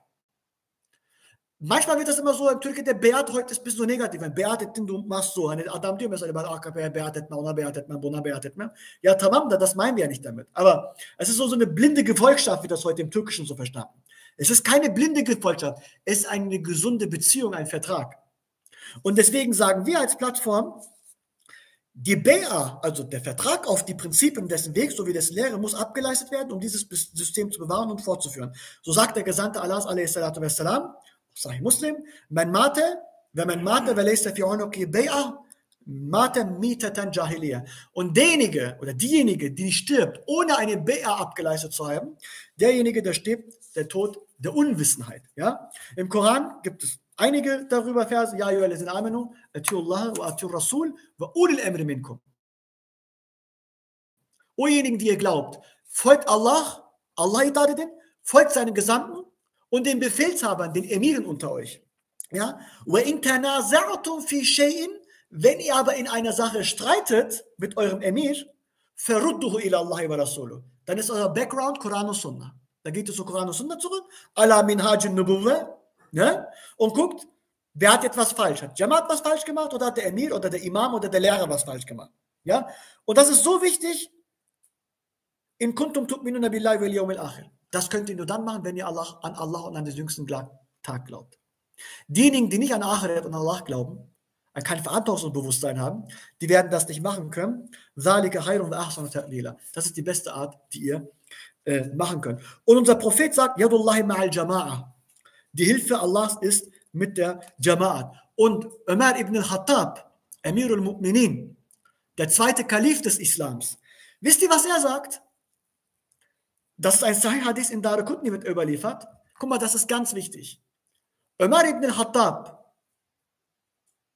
der Adalet Timsali, der mit unserem Propheten والسلام, neben Abu Bakr begraben ist, er sagt, لا إسلام إلا بجماعة ولا جماعة إلا بإمارة ولا إمارة إلا بطاعة Das war's. Er sagt, La Islam illa bi Jama'a. Es gibt so lange kein Islam, bis es eine Jamaat gibt. Ohne Jamaat kein Islam. Wala Jama'a illa bi Imara, bi Imara. Aber es gibt so lange keine Jamaat, bis es keine Führung gibt. Führung, Emir. Wala imara illa bita'a. Und es gibt keine Führung, solange es kein Itaat gibt, keine Gefolgschaft, keine Gefolgschaft dazu gibt. Das ist nicht meine Aussage. Das ist die Aussage von Umar ibn Khattab. Also keiner soll kommen und sagen, Bruder, ich habe den Tawhid verstanden, Alhamdulillah, das reicht für mich. Stimmt, das reicht. Für eine Stunde, für einen Tag, aber dann wird es problematisch weil du musst die fünfmaligen Gebete verrichten, du musst das Freitagsgebet verrichten, du musst das machen, du musst jenes machen, du musst Aktivitäten führen, bla, bla, musst Zekat geben, musst Sadaka geben. Wo ist das? Es fällt alles weg. Du weißt, du kannst Islam gar nicht ausüben. Aber ich bin auf Tawhid, ne? Aber ich bin auf Tawhid. Diese Sachen, das höre ich seit Jahren. Der zehnte Punkt. Das Koranprojekt ist der zentrale Unterricht und die Leitung dieser Plattform. Jeder muss diese Unterrichte mitverfolgen, verinnerlichen und sie nach seinem eigenen Ermessen weiter verbreiten. Das ist der Geist von allem. Also das Ruch, der Geist dieser Plattform, ist das Koranprojekt. Die Bildung, Sichtweise, Herangehensweise und die Scharfsinnigkeit ist hier drin. All unsere Aktivitäten als Plattform bilden sich um den edlen Koran. Das ist hier unsere Plattform. Das ist im Auftrag des Islam. Und alles bildet sich hier drum. Wer sagt das? Alle sagen das. Allah sagt im Koran, in der Surah Al Imran, im 103. Vers,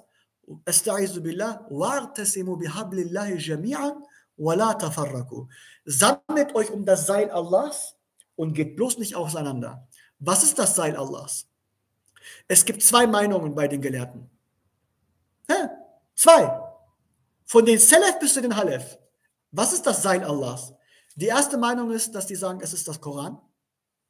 Und die zweite Meinung ist das Jamaat. Was sagen wir? Welche ist richtig? Beide. Eine Jamaat ist nur dann eine Jamaat, wenn sie sich um den Koran sammelt. Und wenn du dich um den Koran sammelst, Tawhid Sunnah Kalifat, dann kannst du sagen, im Auftrag des Islam. Deswegen sagen wir, unsere Praktik ist hier auch, unsere Theorie ist hier drauf aufgebaut. Das Koranprojekt ja, das 23-jährige Projekt, inshallah. Und dann der ganze, das Ganze bildet sich komplett um den Koran. Das ist unser, das ist unser Harddisk. Das ist sehr, sehr wichtig. Äh, deswegen das Koranprojekt. Ähm, genau. Und das ist so wichtig, ich habe letztens das gesagt, ich sage das nur mal als einen Satz, damit vielleicht diesmal bei den Leuten auch, ne? wenn wir das machen, wird Bereket kommen. Auf eine Sache fixieren. Weil Bereket bedeutet, wenn eine gute Sache sich auf einen Ort fixiert und Dauerhaftigkeit aufweist. Also eine dauerhafte Fixierung auf einen Punkt. Auf was fixieren wir uns? Auf den Koran. Wenn du kommst und sagst, ach hey, was für Bücher hast du zu Hause? Mashallah, du hast ja tausende von Büchern. Ich möchte auch alle haben. Nö, nö, nö, da wirst du nie etwas lernen. Deine Aufgabe ist, sich mit dem Koran zu beschäftigen. Wir erklären mit allen diesen Büchern den Koran. Aber eure Aufgabe und meine Aufgabe, von uns allen die Aufgabe, ist die dauerhafte Rezitation des edlen Korans. Dauerhaft. Dauerhaft. Und keiner kann kommen und kann sagen, ich kann kein Arabisch lesen. Der Koran ist Arabi. Wenn du es auf Türkisch oder auf Deutsch oder auf Kurdisch liest, ist das kein Koran. Du bekommst keine Belohnung vom Koran. Du bekommst Belohnung für Ilm.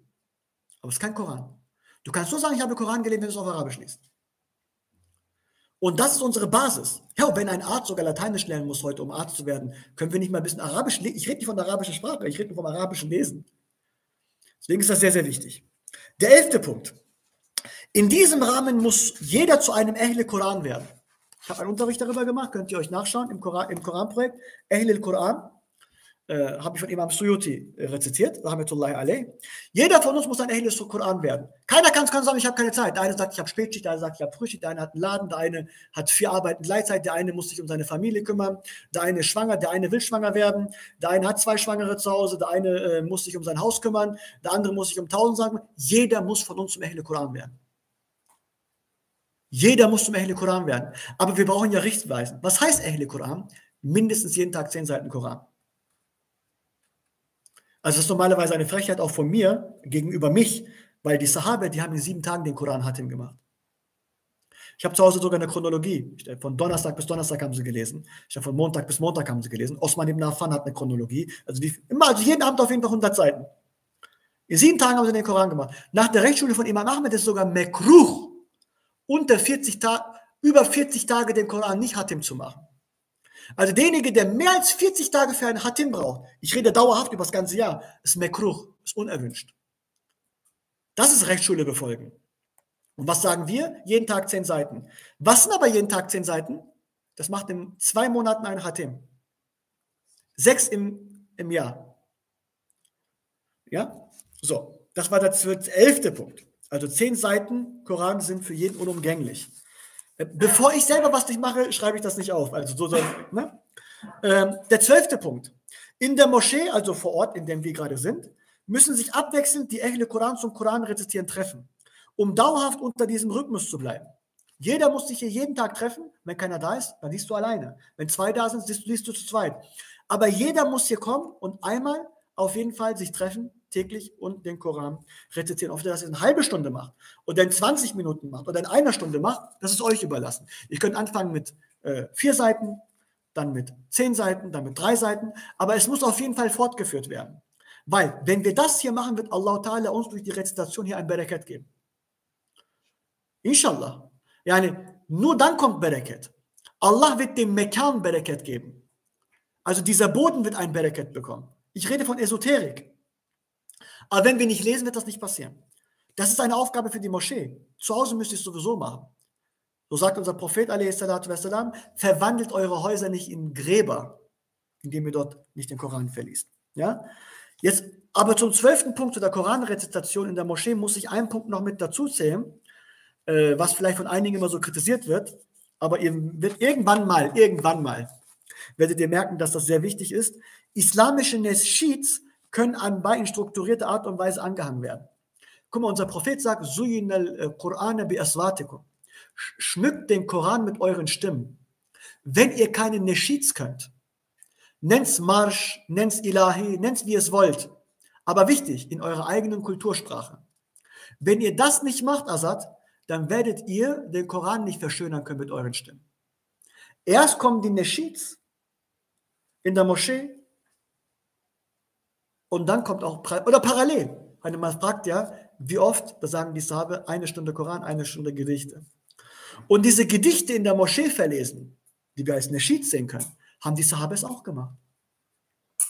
Die Sahabe haben mit dem Befehl unseres Propheten, salatu wassalam, die Gedichte von Umayy ibn Salt al-Thaqafi verlesen. Wisst ihr, wer Umayy ibn Salt al-Thaqafi ist? Das ist der Ahmed Kaya von früher gewesen. Wisst ihr, warum ich Ahmed Kaya gerade sage? Ahmed Kaya ist ein Kommunist. Er ist ein Feind Allahs. Er hat Allah und seinen Gesandten verleugnet. Aber er hat solche Lieder geschrieben. Jeder Mensch, der diese Lieder hört, wird sagen 1a. Ein Lied für einen Widerstand. Ein Lied für Besinnung. Ein Lied, ein Lieder mit tiefer Bedeutung, wo du philosophische Interpretationen machen kannst von den Liedern von Ahmed Kaya. Genauso war Umayy ibn Sa'd al-Sakafi. Er hat Allah und seinen, er hat seinen Gesandten verleugnet, aber er hat Geschichte geschrieben, wo er sagt, es gibt keinen Gesetzgeber außer Allahs und außer Jannat und Jannam ist alles gelogen. Er war Muwahid gewesen. Seine beiden Kinder sind im Krieg im Bettel gegen den Propheten gestorben. Unser Prophet hat seine Gedichte in der Moschee verlesen lassen. Wisst ihr, wie der Sahabe ihn nannten? Der hat auch einen Namen gehabt, einen Spitznamen. Adu Allah, Dushmana. Der Feind Gottes. Aber unser Prophet hat seine Gedichte in der Moschee verlassen, verlesen lassen. Eines Tages lässt er wieder durch einen Sahabi seine Gedichte verlesen und da kommt er zu dieser Strophe, außer Jannat und Jahannam ist alles gelogen. Da sagt der Prophet, stopp. Sein Gedicht ist Muslim geworden. Das heißt, er differenziert zwischen dem Gedicht und dem Schreiber. Heute würden wir sagen, Ahmed Kaya, seine Gedichte sind Muslim geworden. Also, was ich damit sagen möchte, ist, Lieder und Gedichte zu verlesen, ist eine Manage der Salaf Salih.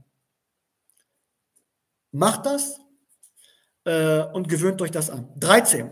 Die Handlungen unseres Propheten salam, müssen im Maximalen befolgt werden. Er ist unser Prophet, er ist unser Beispiel. Pass auf, er ist unser Prophet, er ist unser Beispiel. Wir benutzen ihn als unseren Beispiel, kein anderen. Alles bemessen wir mit seiner Handlung, Methode und Denkweise.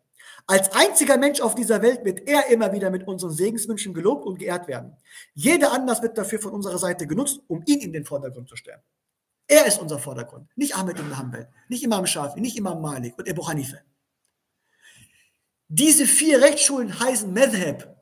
Weißt du, was Madhab heißt? Zahaba yazhabu zahibun. Ein Weg, den man geht.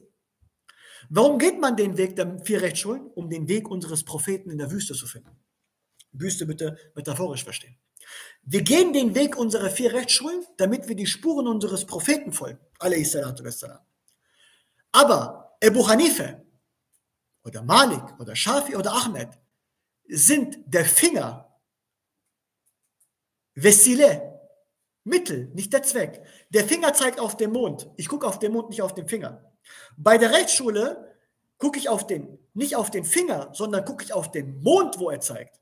Und alle vier Rechtsschulen zeigen auf unseren Propheten, Heute, leider, durch die Befolger dieser vier Rechtsschulen, gucken sie nicht mehr auf den Propheten, sondern gucken sie auf die, auf die, auf die Rechtsschule.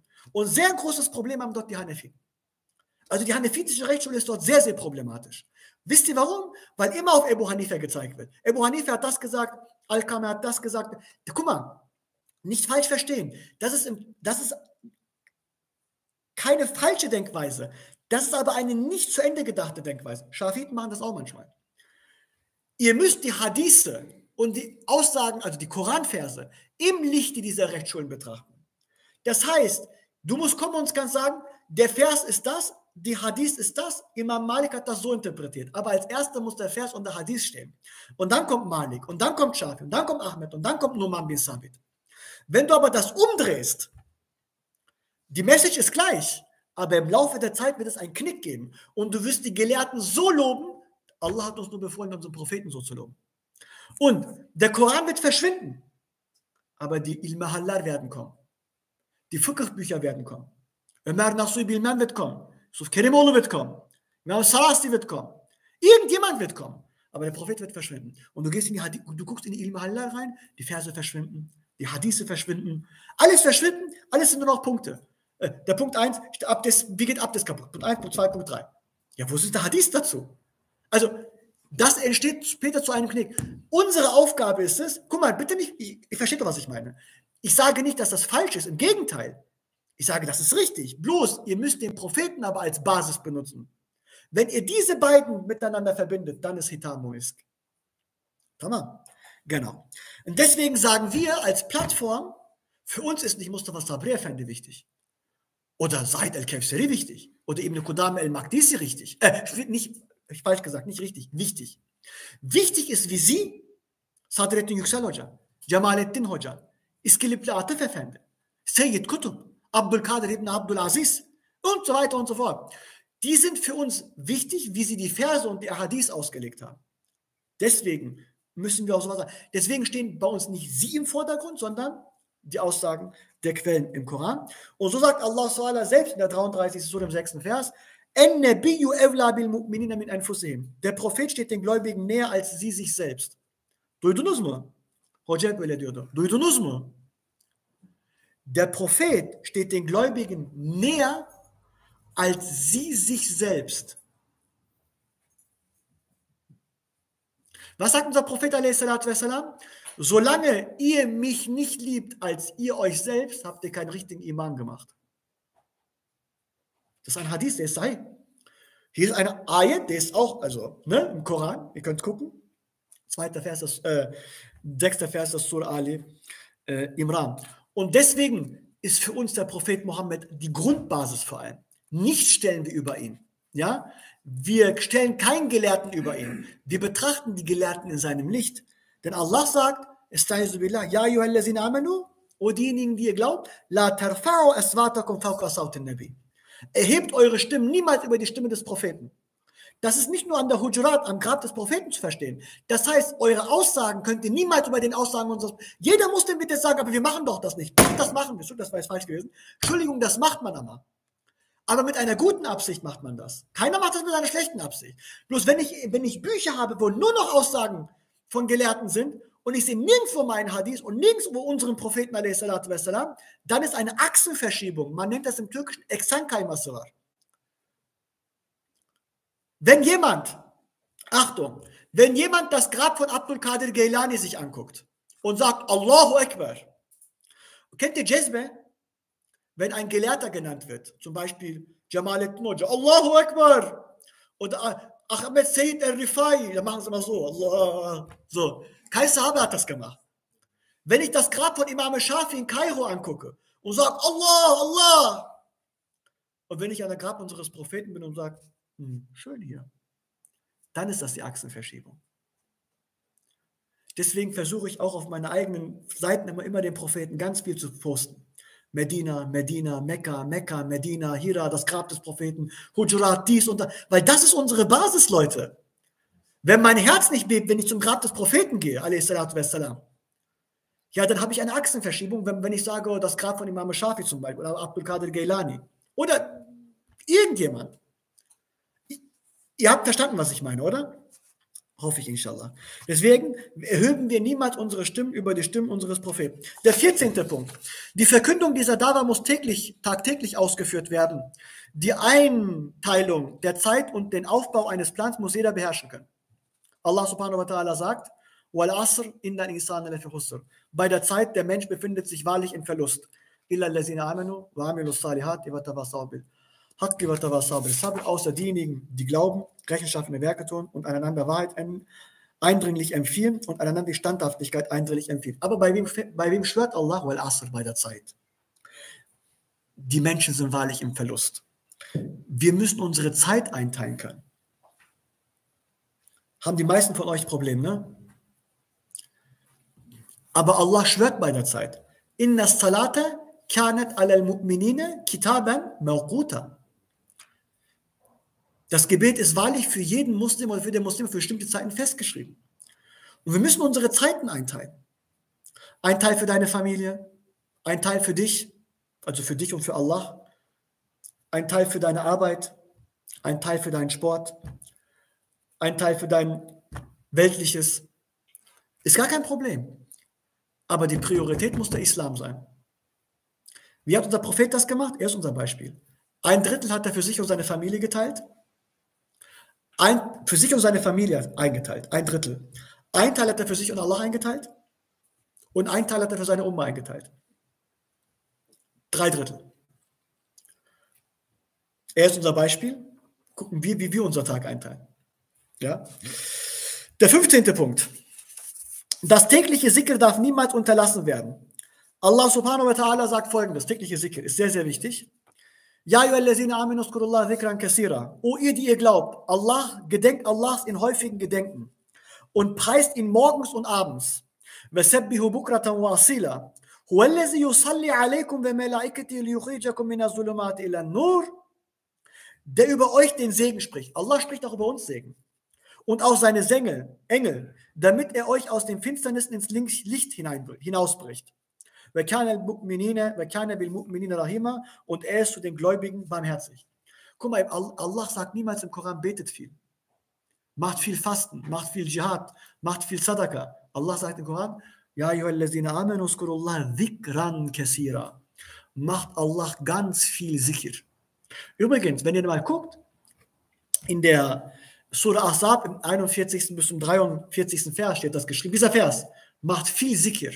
Auf der Seite ist die einzigste Seite im Koran, wo das Wort Allah am meisten vorkommt. Guckt euch die Seite an. Allah lafzın en çok geçtiği sayfa o sayfa. Ja eyyühellezine amenu skurullah zikram äh, kesira. Und ihr müsst diese Zikr auf jeden Fall vermehren, vermehren, vermehren. Gibt noch einige Verse, ich komme zum Punkt. Das tägliche Zikr bedeutet, guck mal, das tägliche Zikr bedeutet, was bedeutet das? Jeder von uns muss mindestens am Tag was machen? 100 Mal Astaghfirullah. Wer kann es aufzählen? 100 Mal Astaghfirullah, 100 Mal La ilaha illallah, 100 Mal Salat Salam, dann? Dann Auzu Besmele, dann Ayet el-Kursi, dann dreimal Kuluvallahu Ahad, dann einmal Surah Falak, dann einmal Surah Nas, dann die Surah Fatiha und dann eins bis zwei Minuten den Tod gedenken. Das muss jeder hier machen. Das ist eine Wasiat, die uns von den vorherigen zugekommen ist. Und glaubt mir mal, wenn ich, ich könnte mindestens zwei, drei Unterrichte über dieses tägliche Sikr machen. Mindestens. Wie das auf die Sunna unseres Propheten äh, zurückzuführen ist. Bitte, jeder muss das von uns machen. Jeder. Das kostet euch am Tag 15 Minuten. Hochgerechnet. Ihr müsst es machen. Jeden Tag. Das wird euch vor ganz guten Sachen, vor ganz schlimmen Sachen schützen. Und euch viele Wege öffnen. Ich mache weiter. Der 16. Punkt. Die Mitglieder dieser Plattform sollten jeden Abend die Surah Tabareke und jeden Freitag die Surah Kef lesen. Also jeden Abend muss die Surah Kef, äh, Surah Tabareke gelesen werden. Guck mal, wenn ihr, wenn ihr zum Beispiel in den letzten zwei Rekat des Abendsgebetes, ich Rekat Sonsunne, und ihr hängt nochmal zwei dran, die Surah Tabareke in zwei einteilt, ein Teil in der ersten Rekat und den zweiten Teil in der anderen Rekat, habt ihr das jeden, habt ihr das gemacht. Das kostet euch keine fünf oder keine zehn Minuten. Auswendig lernen, weißt du, wie lange brauchst du für die Surah auswendig? Maximal drei Tage. Maximal drei Tage kannst du Surah Tabareke auswendig. Jeden Abend lesen wir die Surah Tabareke und jeden Freitag lesen wir die Surah Kef. Tamam.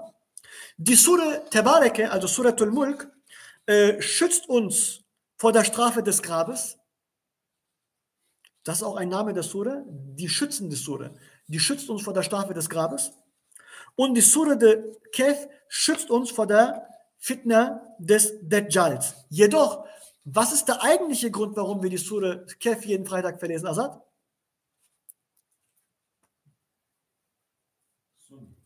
Ja, Sunna, warum aber? Die Schutz vom Dajjal, aber das ist nicht die gesamte Sure. Das sind die ersten zehn und letzten zehn Verse. Der eigentliche Grund, warum wir, vielleicht hat jeder eine andere Nähe, bei mir ist aber das, ist, dass unser Prophet wassalam, sagt, von dem Freitag bis zu dem nächsten Freitag wird ein Licht zwischen dem Lesenden und Mekka gemacht werden. Es wird eine immaterielle Tunnel zwischen dir und Mekka aufgebaut. So gibt es zwei Aussagen unseres Propheten, die sahih einzustufen sind. Äh, da steht, da sagt unser Prophet wassalam, wer die Sure Kef liest, dem wird sie am Tage der Auferstehung ein Licht sein, das von seinem Auferstehungsort bis nach Mekka reicht. Und dem, der die letzten zehn Verse der Surah liest, der, der, der liest, der der Dajjal erscheint, wird dieser nicht schaden.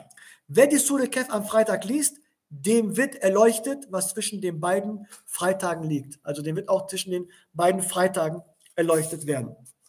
Der 17. Punkt.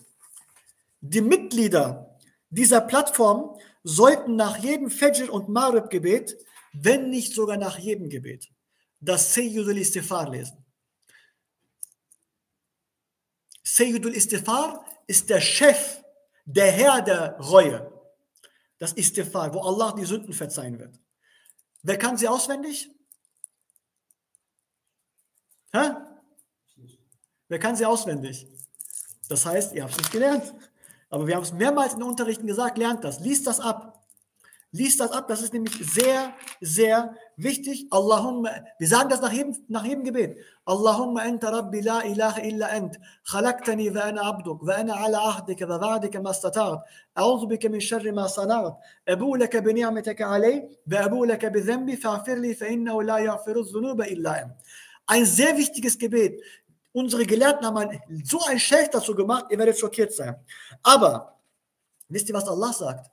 وَمَنْ لَمْ يَتُبْ فَأُولَٰئِكَ هُمُ الظَّالِمُونَ Diejenigen, die nicht Reue zeigen und Istighfar machen, das sind wahrlich die Ungerechten. Und unser Prophet wassalam, sagt in ein Sahih Buhari, das heißt, dass Sayyidul Istighfar ist Sahih. Er kommt in Buhari vor. Ja? Und da sagt unser Prophet wassalam, zu diesem Dua, schaut mal, was er sagt. Es ist ein Buhari-Hadith. Wenn jemand dies während des Tages mit aufrechtem Glauben rezitiert, und am selben Tag vor dem Abend stirbt, wird er zu den Leuten des Paradieses gehören. Jannat liegt. Wenn du an dem Tag stirbst, kommst du in Jannat, inshallah, als Muwahid, wenn du es liest. Das ist nicht meine Aussage, das sagt nicht irgendein Imam. Das sagt unser Buhari bei Sahih Muslim, äh, Sahih Buhari. Unser Prophet sagt das bei Sahih Buhari. Und er sagt, und wenn jemand dies während der Nacht mit aufrechtem Glauben rezitiert und in derselben Nacht vor dem Morgen stirbt, wird er zu den Leuten des Paradieses gehören. Also wer es früh morgens liest und bis zum Abend stirbt, kommt ins Paradies. Und wer es abends liest und liest, stirbt bis zum Sabbat, der wird ins Paradies kommen. Das ist nicht meine Aussage. Das ist die Aussage unseres Propheten. Und wenn ihr am Tage des jüngsten Gerichts dasteht als Moachedun und habt das gelesen, ja, und jemand sagt, ihr kommt in die Hölle, dann könnt ihr sagen, mein Prophet hat aber gesagt, ich komme ins Paradies. Und dann tritt das Schafat ein. Und das ist eine Verpflichtung über unseres Propheten, Das ist Seydul Istifar. Das haben wir auf unserer Seite drauf. Und wir sagen, auf, wir sagen das, was unser Prophet sagt. Sabah nach dem Morgengebet und nach dem Marab-Gebet. Aber mach doch nach jedem Gebet, das kostet doch keine halbe Minute. Das Sayyidul Istifar. Es ist ein Buhari-Hadith. Und guck mal, Leute, auch wirklich mal eine, eine Sache mal an euch. Guck mal, wenn ihr euch die ganzen Punkte anguckt, bei 18 sind wir jetzt angekommen, der, der Schluss geht schneller. Um was geht es denn hier bei den ganzen Punkten? Es geht um euch. Die ganzen Punkte hat eigentlich was damit zu tun. Werdet ein besserer Mensch. Macht das Dua, macht das Zikir. Dimme, lest den Koran. Warum machen wir das? Weil wenn ihr nicht sauber seid, wenn wir nicht sauber sind, wird Allah Ta'ala uns keine Barakat geben. Wie viele Tawid-Jamaat habe ich gekannt, die haben draußen Kippe geraucht? Eine nach der anderen. Wir sagen, das geht nicht. Oder die haben das gemacht oder jenes gemacht. Nur dann, wenn wir, und so waren die Sahabe gewesen, 13 Jahre lang haben sie Qiyamul Layl, Gece Namazı gemacht. Der Prophet und Sahabe, bestimmte Sahabe, die haben sich an, ihr wisst, an äh, Evlade Sutun war das eskiden, also Säulen, wo das Haus gehalten wird. Die haben sich mit Seil an den, an den Säulen angebunden und haben Qiyamul gemacht, dass ihre Beine so kaputt waren, dass sie nicht mehr stehen konnten. Aber das islamische Reich danach, die vier Kalifen, Emeviler, Abbasiler, Memluklular, Selçuklular, Osmanlılar, die sind auf diese Leute aufgebaut worden, die nachts mit ihren Seilen sich an den Häusern angebunden haben, damit sie beim Qiyam nicht umfallen. Und wir können am Tag nicht 100 Mal Astaghfirullah sagen. Wir können das Seydul Istighfar nicht. Wir schaffen es nicht, 10 Seiten Koran zu lesen. Wie will Allah Ta'ala uns den Berakat geben als Plattform, indem wir gute Videobearbeitung machen? Dann bist du säkular gut, ja. Aber bei Allah bist du schon lange nicht gut. Deswegen ist es sehr, sehr wichtig, dass wir alle das machen. Guck mal, zum Beispiel, wir sind zehn Leute hier. Wir sind zehn Leute hier. Neun Leute machen das, einer nicht. Das ist wie ein fauler Apfel, der macht alle anderen faul. Deswegen müssen wir alle, alle auf dieser Manhaj sein. Ja? Mach ich weiter, inshallah. Und das hat, wie gesagt, mit uns was zu tun. Das ist eine, das ist wie so, das ist eine Kur, was wir hier machen eigentlich. Eine Selbsterziehung.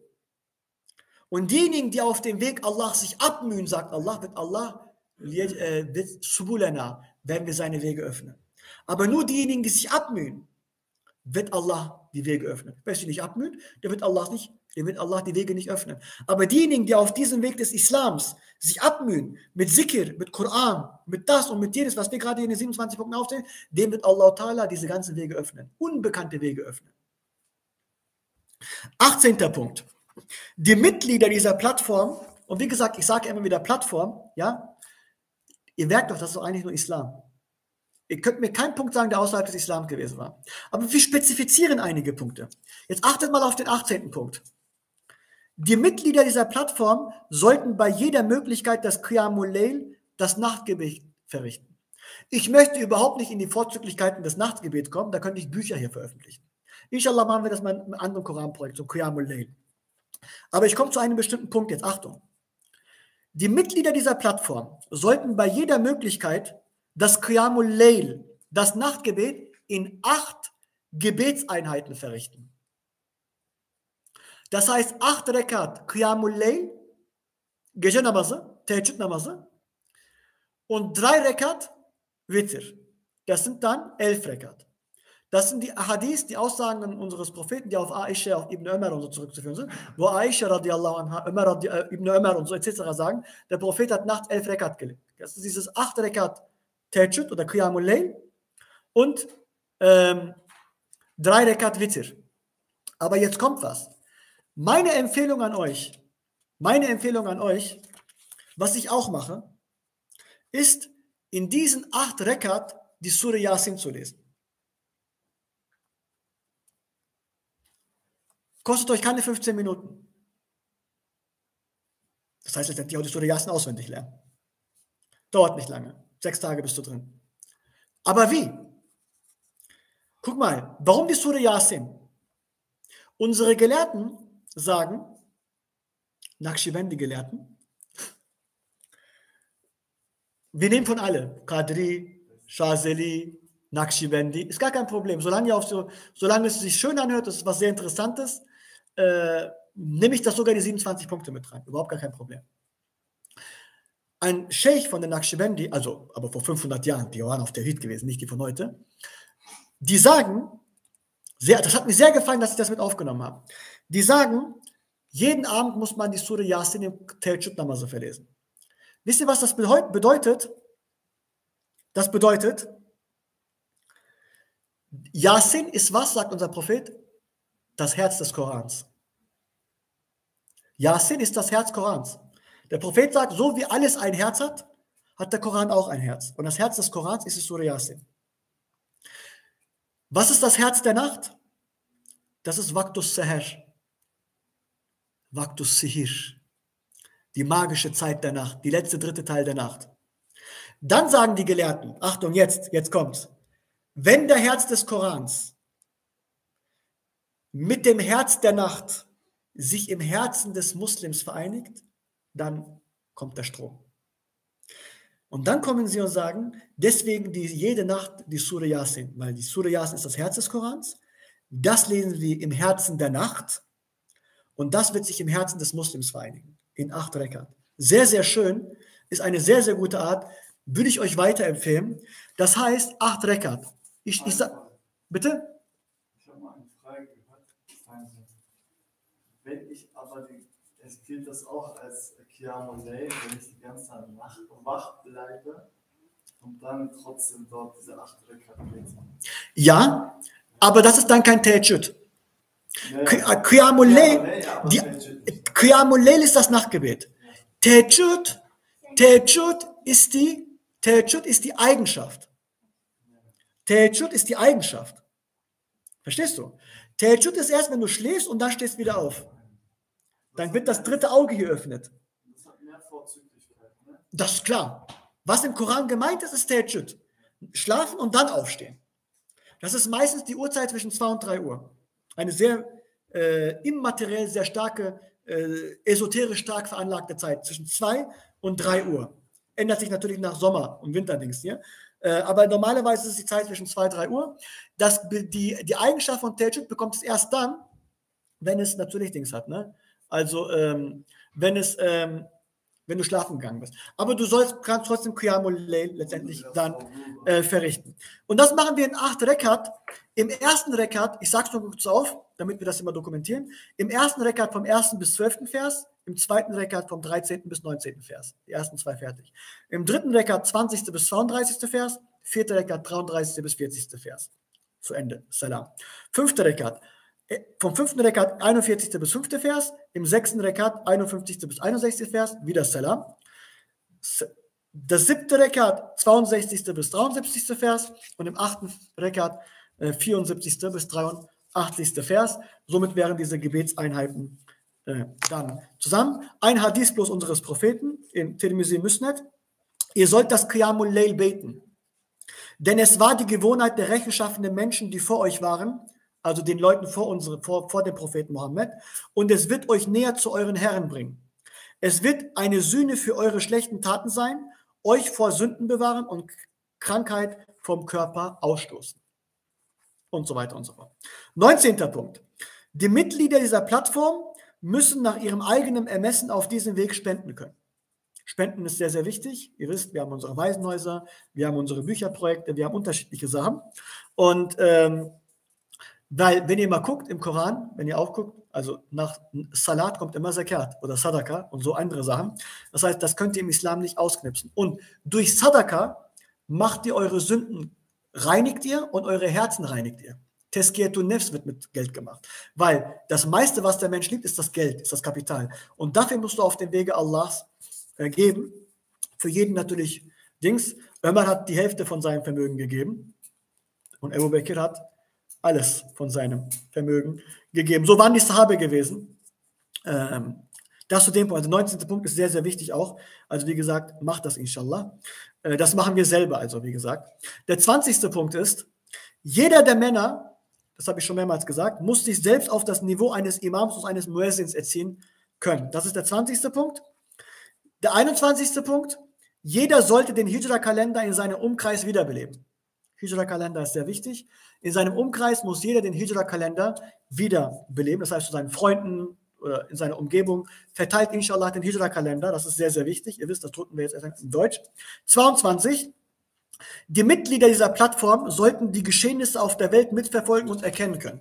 Das heißt, keiner kann hier kommen und kann sagen, ja, ich beschäftige mich nur noch mit Koranlesen, mit Qiyamul Layl, ich mache mein tägliches Sikr. Nein, ihr müsst die täglichen Geschehnisse auf der Welt mitverfolgen können. Ihr müsst wissen, was in der Ukraine passiert. Ihr müsst den Ukraine-Krieg gut lesen können. Ihr müsst zum Beispiel aktuelle die Putschversuche in, äh, in Afrika lesen können. Wir müssen uns hinsetzen und müssen sagen, warum gibt es plötzlich im Afrika, im Niger und was weiß ich, Putschversuche? Möchte man vielleicht die Franzosen weghaben? Ist ja auch der Fall. Also es gibt zwei große Mächte, das sind die Russen und die Amerikaner. Und die Franzosen sind auch eine Kolonialmacht. Wollen die Russen und die Amerikaner, arbeiten sie vielleicht nicht zusammen und wollen die Franzosen gerade weghaben? Äh, und so weiter und so fort. Wir können vielleicht Komplotheorie machen, wir können auch Wirtschaft, wir können auch äh, seriös reden, wir können alles reden. Aber was, was wichtig ist, wichtig ist, die Geschehnisse mitverfolgen zu können. Das heißt, der Muslim und die Muslime als Update. Du musst wissen, was jeden Tag auf NTV steht. Du musst wissen, was hier in Deutschland die Grünen machen, was die äh, Gelben machen, was die Bunten machen, ja, was die AfD macht oder was sie nicht macht. Und du musst auch wissen, was in der Türkei der Fall ist. Also ein Muslim und eine Muslima muss ähm, auf dem neuesten Stand sein, was auf der Welt passiert, weil es gehört sich nämlich einen Muslim und muss das natürlich sehr gut lesen können. Aber die gesündeste Art und Weise ist meine Empfehlung an euch, mit Geschichte zusammenzulesen. Das heißt, ihr könnt nicht sagen, zum Beispiel, heute ist in Afrika das passiert, müsst die Geschichte von diesem Land kennen. Ihr könnt nicht sagen, ich kritisiere Russland oder ich kritisiere die Ukraine. Wenn ich, zum Beispiel, du kannst nicht über die Ukraine reden, Beispiel jetzt nochmal, wenn du nicht weißt, was 2015 auf dem Maidan passiert ist. Du kannst nicht über den Maidan 2015 reden, wenn du nicht weißt, was damals Ende 89, Anfang 90 durch den Zusammenfall der Sowjetunion passiert ist. Du kannst aber nicht über die Ukraine reden, über den Maidan reden und über den Zerfall des äh, Sozialismus reden, äh, der Sowjetunion reden, wenn du nicht weißt, was die Tataren, die Türken eigentlich für einen Einfluss auf Krim und auf Ukraine hatten damals vor 100 Jahren. Also das ergibt erst einen Gesamtblick. Und das macht eigentlich einen intellektuellen Menschen oder eine intellektuelle oder eine seriöse äh, Analyse aus. Der 23. Punkt, ja, kommen wir langsam zum Ende, 27 sind es, was mir am Herzen liegt, in Tasche Die Mitglieder dieser Plattform sollten auf die islamische Kleidung und vor allem den Turban mehr Acht geben und diese vor allem in der Moschee verwenden. Damals war das so gewesen, es war Ayib. Kennt ihr das Wort Ayib? Das gibt es auf, auf, auf Arabisch auch, auf Kurdisch auch. Das heißt, es ist beschämend, beschämend, wenn die Menschen damals kopfoffen waren. Frauenkopftuch ist immer sehr, sehr leicht, ne? steht ja im Koran geschrieben. Es war Ayib, wenn die Männer kopfoffen gewesen waren. Guckt euch mal die osmanischen Bilder an. Guckt euch mal die arabischen Bilder an aus Ägypten, aus Afrika, aus Saudi-Arabien. Gibt es ja Bilder aus Mekka aus dem Jahr 870, 1880. Mache ich auch und vieles auf meine Seite immer drauf. Zeigt mir mal die Leute, wo sie kopfoffen sind. Ach hey, die Leute gehen abends im Bett mit einem Takja auf den Kopf. Kennt ihr diese alten Bilder, Videos noch von der Türkei? So ein langes Jalabi haben die Türken auch, auch bei den alten Schaban-Filmen, aber auf dem Kopf ist immer das Takje drauf. Weil Kopf offen war Ayub gewesen. Es war beschämend gewesen. Ein Muslim hat seinen Kopf zu bedecken. Es ist Ayub, Kopf offen zu sein. Und mit Kopf offen zu beten ist mindestens mehr Kruch, weil der Prophet hat immer seinen Kopf verdeckt, außer wenn er Ihram nicht hatte. Deswegen sage ich immer bei den Gebeten, bitte verdeckt eure Köpfe. Das Wichtigste ist Turban, keine Frage. Aber erstmal muss es zu sein. Und heute plötzlich sehe ich, dass jeder plötzlich Kopf offen ist. Würde ich in der Moschee nicht sagen, würde gar keiner mehr Kopfbedeckung machen. Warum macht ihr das? Ich weiß es nicht. Also, es ist doch nicht meine Aussage, es ist doch die Aussage unseres Propheten. Und es ist auch unsere Kultur des Islams. Immer war der Kopf bedeckt gewesen. Unsere Köpfe waren immer bedeckt gewesen. Und ich sage es nochmal, es war beschämend gewesen, Kopf offen zu sein. Sogar, dass unsere Vorfahren mit einer Kopfbedeckung abends ins Bett gegangen sind. Und heute machen wir unsere Gebete kopfoffen. Das eine Fasiklik kann das, das kann, ich bitte nicht falsch verstehen, ich sage nicht Fasiklik, das kann zu Fisk führen. Das kann zu Fisk führen, weil es Sunna ist, den Kopf zu bedecken. So, wie du es bedeckst, ist eigentlich egal. Heute machen das die Saudis mit einem Tuch, die Türken machen das meistens mit einem Takke, die äh, Ägypter auch. Und die ganz alten, auch in Arabien damals, bevor dieses rot-weiße saudische Tuch gewesen war, die haben alle einen Turban gehabt. Das Turban war das Symbol des Islams gewesen. Der Turban war das Symbol des Islams. Sogar, dass die Christen, einige Christen, äh, die orthodoxen Christen, ihr wisst, Konstantinopel bestand aus zwei Arten von Christen, die Orthodoxen und die Katholiken. Fatih Sultan Mehmed hat sich mit den Orthodoxen vereinigt und hat gegen die Katholiken gekämpft. Was hätten die heutigen sogenannten Muslime gemacht? Die hätten beide bekämpft. Deswegen sagt unser Prophet wassalam, über Fatih Sultan Mehmed, was für ein geehrter Kommandant, was für eine geehrte Armee. Er hat mit dem kooperiert und gegen die gekämpft. Er hat unterschieden. Nicht alle Christen sind gleich, nicht alle Juden sind gleich, nicht alle Muslime sind gleich, nicht alle Ungläubigen sind gleich, nicht alle Deutschen sind gleich, nicht alle Türken sind gleich, nicht alle Kurden sind gleich. Keiner ist gleich. So. Und das hat er unterschieden. Ja? Und was haben damals die orthodoxen Christen gesagt? Ich möchte lieber einen osmanischen Turban in meiner Stadt haben, als ein katholisches Kreuz. Dieser Satz ist in die Geschichte gegangen. Ich möchte lieber einen osmanischen Turban in meiner Stadt haben, als ein katholisches Kreuz. Und das haben sie gemacht. Heute ist das Zentrum der Orthodoxen Istanbul. Heutige einige sogenannten Muslime hätten die Christen verjagt.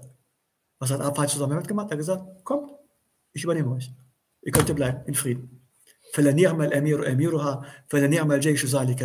Was für ein geehrter Kommandant, sagt unser Prophet, was für eine geehrte Armee. Ja, was für eine Sichtweise. Und wie weit wir heute davon entfernt sind. Und wie weit wir heute in unserer eigenen Moschee kein Kulturban tragen. Geschweige den Kopf offen sind. Unser Prophet sagt, bindet euch einen Turban, damit euer Hilm, das heißt eure Demut und eure Würde sich vermehrt. Unser Prophet sagt, verlasst den Turban nicht, denn er ist das Zeichen der Engel. Und lasst ihn zwischen euren Schulterblättern, dieses Seil, dieses was lasst es dort runterhängen. Unser Prophet sagt, ohne Zweifel sprechen die Engel den Salat, den Segenswunsch, über diejenigen, die am Freitag den Turban binden zum Freitagsgebet.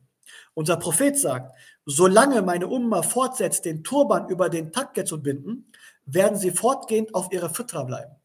Und tatsächlich hat unser Prophet wieder recht gehabt. Nachdem unsere Umma, nachdem die Umma angefangen hat, die Turbane zu verlassen, ist es auch von der, von der, von der Fitra weggekommen. Unser Prophet sagt, zwei Recker, die mit dem Turban betet, und verrichtet werden, ist 70-fach höher als ein Gebet ohne Turban. Also ein Turban-Gebet ist 70 mal mehr belohnt als ohne Turban. Unser Prophet sagt, der Unterschied zwischen uns und den Mushrikun ist der Turban, den man auf den Takt gewindet. Abu Ruqana radiallahu anh, sagt in einer anderen Version, der Unterschied zwischen uns und den Götzendienern ist der Turban, der um die Kappen gewunden wird. Und für jeder seiner Windungen um den Kopf wird euch am Tag, jüngsten Tag ein Licht gegeben werden. Aisha radiallahu anha sagte folgendes. Rasulullah wassalam, sagte, nachdem er Abdurrahman ibn Auf sein Turban gebunden hat und ihn vier Finger lang herabhängen lassen hat, als ich den Himmel aufstieg im Miraj, sah ich die meisten der engen Turban. In den Tafsir-Büchern kommt vor, als die Muslime in Bedr kämpfen, werden die Muslime mit den, in Bedr mit den Engeln unterstützt. Alle waren mit Turban gewesen, steht in den Tafsir-Büchern drin geschrieben. Auch, dass unser Prophet, als er Abdurrahman ibn Auf den Turban gebunden hatte, mit seinem eigenen gesegneten Händen sagte, binde den Turban so, denn so ist es viel schöner. Ist als Beweis genug für diese Schönheit des Turban. Ibn Umar, der Sohn von Hazrat Umar, berichtet, dass der Prophet gesagt hat, ein freiwilliges oder Pflichtgebet mit dem Turban kommt 25 Gebeten ohne Turban gleich. Und das Freitagsgebet mit dem Turban kommt 70 Freitagsgebeten ohne Turban gleich. Ibn Asakir. Im Kommentar zitiert Ibn Asakir Imam Malik radiallahu anh, der gesagt hat, was sagt Imam Malik? Es gehört sich nicht, den Turban wegzulassen. Und wahrlich, ich habe Turban getragen, als in meinem Gesicht noch kein Härchen wuchs, also ihr. Als Imam Malik noch kein Bart hatte, der, eins der größten Imame der Ahl-Sunnah al-Jamaat, hat er gesagt, habe ich schon einen Turban getragen. Im Kommentar zitiert Ibn Asakir Imam Malik, der gesagt hat, es gehört sich nicht, den Turban wegzulassen. Und wahrlich, ich habe Turban getragen, genau, das habe ich eben gerade nochmal verlebt. Die Farbe unserer Kleidung. Ich möchte nur zwei äh, Aussagen unseres Propheten verlesen, äh, die in Kutub Sitta vorkommen, an mehreren Stellen vorkommen. Was ist die Farbung der, Farbe der Muslime? Unser Prophet a.s.w. sagt, tragt weiße Kleidung, denn die beste aller Kleidung sind die weißen und hüllt eure Toten in ein weißes Leichentuch. Leichentuch. Und er sagt in einem ähnlichen Hadith, tragt weiße Kleider, denn weiß ist sauberer und sieht entsprechender aus und füllt und hüllt eure Toten in ein weißes Leichentuch. Es gibt auch andere Hadithe, wo der Prophet einmal rot getragen hat oder, ein, oder schwarz getragen hat. Aber im Konsens ist es normalerweise bei den Männern äh, die weiße Kleidung. Inshallah werde ich mal einen Unterricht auch über die Kleidung eines Muslims berichten. Wie hat unser Prophet sich wassalam, gekleidet, gekleidet? Der 24. Punkt. Gerechtigkeit und Nachsicht muss gegenüber den Kontrahenten gezeigt werden können. Das ist sehr wichtig. Wenn jemand außerhalb dieser Plattform eine andere Meinung hat, ist es mal ein Kontrahent. Egal, was für eine Schule er angehört. Egal, was für eine Religion er angehört. Gegen ihn über muss Gerechtigkeit und Nachsicht gezeigt werden. Bei uns gibt es diesen Satz nicht. Bruder, mashallah, wir haben den ausradiert. Wir haben den gelöscht. Wir, aber der hat so eine Bruder, der hat so eine, so eine Redier gemacht, Bruder, mashallah, vernichtet und im Keim erwirkt. So. Ja, sowas gibt es bei uns nicht. Wenn wir jemand eine Redier machen, wenn wir jemand eine Redier, Kinder mögen sowas, wir sind keine Kinder. Wenn jemand eine Redier macht, machen wir das sogar mit Ehre und mit Niveau. Selbst als wir die Redier, und das war nicht meine Redier gewesen, das war eine Klarstellung zu Metin Kaplan gewesen, ja, damals vor zwei, drei Jahren, vor drei Jahren, haben wir das mit Würde gemacht. Wir haben unsere Geschichte erzählt, wir haben unsere Quellen gezeigt. Ich sage im Türkischen immer, es war so ein bisschen osmanische Schelle gewesen aber es war aus. Und was haben wir gemacht? Haben wir beleidigt in dem Video? Wir haben in diesem Video nicht beleidigt. Hat er uns beleidigt? Hat Metin Kaplan uns beleidigt? Metin Kaplan hat uns am laufenden Band beleidigt. Er hat zu der Moschee Meshid gesagt, er hat mich verflucht, er hat mich beleidigt. Dauerhaft, ein Jahr lang. Immer gut durchbleiben, zwei Jahre lang, immer Geduld gehabt. Aber dann gab es eine Rettier nach islamischen Usul und wir haben sogar gesagt, wenn wir falsch sind, kann ja sein, wir geben euch sieben Tage Zeit. Drei Jahre sind vergangen, es kam keine Antwort. Die, die noch irgendwie waren, die haben sich auch noch zerteilt. Aber es ist okay, gar kein Problem. Wir gucken nicht nach hinten. Viele gucken immer nach hinten. Yusuf hat immer den Fehler gemacht, immer nach hinten geguckt. Das wurde ihm zu Verhängnis. Guck nach vorne, es gibt so einen Weg zu laufen. Und da laufen wir alleine, laufen wir mit 10, laufen wir mit 100 Leuten, ist doch egal. Wir gucken, welche Leute uns diesen Weg vorhergegangen sind. Wir gucken auf den Wege des, der Spuren unserer, der Propheten. Abraham, Ismail, Isaac, Moses, Jesus, Mohammed, Adam, Salomon, David, die sind diese Wege gelaufen. Wir gucken, wer sind diese Wege gelaufen, wir gehen diesen Weg nach. Wer hinter uns kommt, das ist jedem selbst überlassen. Unsere Aufgabe ist, nach vorne zu gucken und zu gehen. Warbut hat da Du musst so lange auf Allahs Weg laufen und so lange Ibadet machen, bis der Tod zu dir kommt. Und dann? Wer kommt denn hinter dir? Selbst bei der Beerdigung, halbe Stunde später sind sie alle weg und essen Kaffee und Kuchen.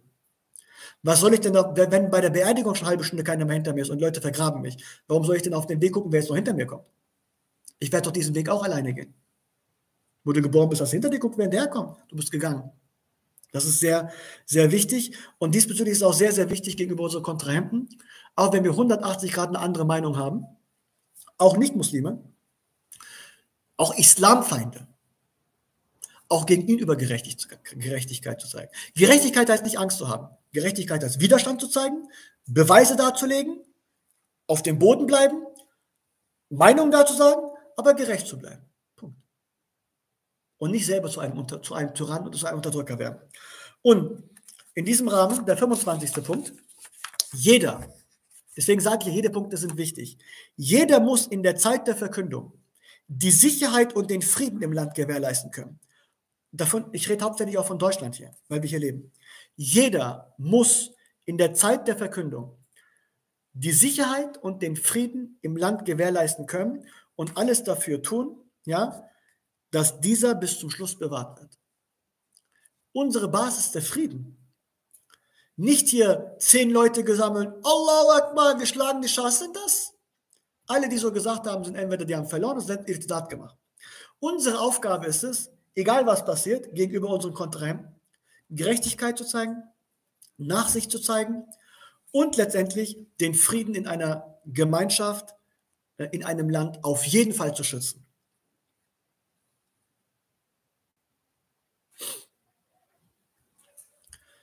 Das ist sehr wichtig. Wisst ihr warum? Weil wir Muslime sind, weil wir verkünden. Und in einem Ort, wo kannst du am besten verkünden die Wahrheit, wenn ruhig ist? Wenn alles ruhig ist, kannst du besser verkünden. Du kannst Beispiel einen Islamfeind nehmen, kannst sagen, pass mal, was ist deine Meinung? Setz dich da gegenüber. Ja, das ist deine Meinung. So. Ist das falsch? Ist das richtig? In einer Ruhe kann sich zwei Gegenmeinungen können diskutieren.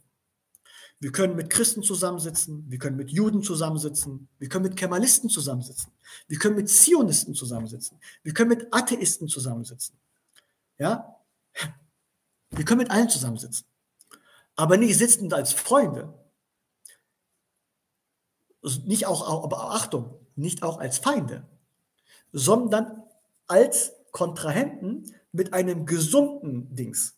Beziehung, indem man sagt, das, was ihr sagt, ist falsch und das, was wir sagen, ist richtig. Und darüber diskutieren wir jetzt. Mal gucken, wenn euer Rechtssystem so stark ist, dass es diese Meinung aushält, dann lasst uns doch mal darüber diskutieren. Aber ihr dürft mich nicht mundtot machen und ich mache euch nicht mundtot. Kommt mit all euren Beweisen. Natürlich darf keiner beleidigen, gar keine Frage. Aber all mit den Beweisen. Und deswegen sagen wir, Frieden und Sicherheit ist unsere Aufgabe, dies in diesem Land zu schützen. Warum? Weil vor allem in diesem Land, hier in Deutschland, der Frieden und die Sicherheit aktuell sehr, sehr angespannt sind. Mit Recht angespannt sind, auf beiden Seiten. Die Rechtsextremen werden immer stärker, die Ausländer werden immer mehr, viel zu viel. Und dieses, dieses Dings geht langsam kaputt. So. Und das heißt, es ist eine sehr, sehr angespannte Situation. Das heißt, die Leute haben weniger Geld, die Inflation kommt dazu, ähm, die Ukraine-Geschichte kommt dazu, die insgesamt die Weltpolitik kommt dazu. Und was unsere Aufgabe in dieser Zeit, in dieser Aufgabe ist uns Zeit, noch mehr den Frieden zu bewahren. Weil die, umso mehr die Situation angespannter wird, umso mehr ist es diese, unsere Aufgabe, die Situation zu beruhigen. Egal was passiert. Selbst wenn die Polizei kommt, ist es die Aufgabe zu zu sagen, setz dich erstmal, hier ist ein Kaffee, wir können auch so machen ruhig, aber einen Standpunkt vertreten. Deswegen ist der, 6, äh, der 25. Punkt wirklich sehr, sehr wichtig. Jeder muss unbedingt in der Zeit der Verkündung die Sicherheit und den Frieden im Land gewährleisten und alles dafür tun, dass das bis zum Schluss gewährleistet wird. Der 26. Punkt, der vorletzte, inshallah. Vorletzte. Jeder muss den Anstand und die Erziehung des Tasawwufs. Weißt du, was Tasawwuf eigentlich heißt? Tasawwuf ist die maximalste ausgeübte Art der Sensibilität der Sunna unseres Propheten. Das meinen wir mit Tasawwuf. Also Tasawwuf hat eine andere Beschreibung. Wir sagen, Tasawwuf ist die maximalste Art von Sunna. So, wo das Feinfühligste vom Feinfühligste nochmal ähm, ausgearbeitet worden ist. Ich werde inshallah im Unterricht dazu machen. Einige sagen, ja, gab es die zur Zeit des Propheten? Oh ja, die gab es zur Zeit des Propheten. Abu Zar al-Ghafari war einer davon. Osman ibn Mas'un war einer davon gewesen. Komme ich inshallah auf anderen dazu. Muslime müssen sich daher müssen, pass auf, Muslime müssen da intellektuell sein und sowohl eine Vorbildfunktion als auch eine Lokomotivfunktion in der Gesellschaft besitzen. Du musst ein Vorbild sein, aber du musst auch eine Lokomotive sein. Du darfst kein Waggon sein. Ein Muslim ist kein Waggon. Ein Muslim ist eine Lokomotive in der Gesellschaft. Ein Vorbild und eine Lokomotive. Das heißt, er muss die Gesellschaft führen. Wenn du in eine Gesellschaft kommst, muss jemand sagen, ah, mashallah, guck mal, er ist da, mal gucken, was er zu sagen hat. So eine Ehre musst du haben. Sehr wichtig. Dabei dürfen sie nicht immer wieder, also die Muslime, vor allem jetzt wegen diesen Punkten, das ist mir sehr, sehr wichtig, dafür müssen sie nicht immer wieder erneut an jeweiligen Prinzipien erinnert werden. Das Gegenteil sollte der Fall sein, indem sie sogar die Menschen, die Menschen inshallah, Islam, die sogar weiterentwickeln und fortführen, ohne dabei einen Kompromiss einzugehen, bis diese Prüfung und dieser Auftrag im Diesseits endet. Was heißt das? Der vorletzte Punkt, eigentlich eines der sehr wichtigen Punkte wieder. Das heißt, wir haben heute diese 27 Punkte aufgezählt. Wenn ich nach einem Monat komme und kann sagen, wer kann Sayyidun Istighfar? Bruder, ich kann das nicht. Bruder, liest du Aksham, Marib, die Surah Tabareke? Nee, kann ich noch nicht. Kannst du diese 10 Seiten Koran? Liest du das am Tag? Nee, Bruder, kann ich noch nicht. Ein Monat später wieder und ein Monat später, das ist der 26. Punkt. Ein Muslim ist eine Vorbildfunktion, eine Lokomotivfunktion. Er muss das hier leben. Wir müssen das leben. Die 27 Punkte hier, die sehr, sehr wichtig sind, die fundamentale Bestandteile des Islams sind, an denen müssen wir uns messen, an diesen Punkten müssen wir uns erziehen. Das müssen wir werden. Am Anfang und am Ende. Das kannst du nur noch ausbreiten, indem du es noch besser machst. Aber das musst du machen. Das müssen wir machen. Das muss ich machen. Das müssen wir alle machen. Der 27. und der letzte Punkt, inshallah.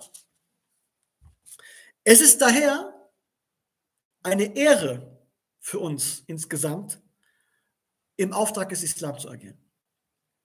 Denn Allah subhanahu wa ta'ala, es ist eine Ehre für uns. Es ist keine Ehre für Allah. Also willst du zu Allah sagen, ja, guck mal, jetzt bin ich Muslim geworden, guck mal, was du davon hast. Oh, guck mal, ich bin jetzt in die Moschee gekommen. Wenn ich nicht in die Moschee gekommen wäre, wer wäre denn dann gekommen? Guck mal, beim Jamir gibt es auch Leute, die sagen, ich komme in die Moschee, guck mal, ich bin jetzt da. Oder in der, in der Türkei kommt manchmal so vor, da kommen Leute so, ich, ich bin jetzt hier, oder an Meshin Nebevi, guck mal, ich bin jetzt gerade zum Propheten gekommen. Also wenn du nicht da gewesen wärst, hätte der Islam keinen Wert. Gut, dass du gekommen bist, gut, dass der Islam einen Wert bekommen hat. Diese Leute gab es zur Zeit des Propheten auch. Und wisst ihr, was Allah zu ihnen sagt in der Surah Hujurat im 17. Vers? Yamunnuna alayka an aslamu. Sie halten es dir, o Mohammed, als Wohltat vor, dass sie Muslime geworden sind. Wenn sie kommen zum Propheten Mohammed und sagen, guck mal ja, Mohammed, ich bin Muslim geworden. Guck mal, ich bin Muslim geworden, ich habe den Islam akzeptiert. Kul, sprich, o Mohammed, la tamunnu alayya islamakum. O Mohammed, sag zu ihm, haltet mir nicht eure Annahme des Islams als Wohltat vor. Also gibst du mir, gibst du mit dem Islam bei mir an, dass du Muslim geworden bist. Belillahu yamunnu alaykum an hadakum lil iman in kuntum sadiqin.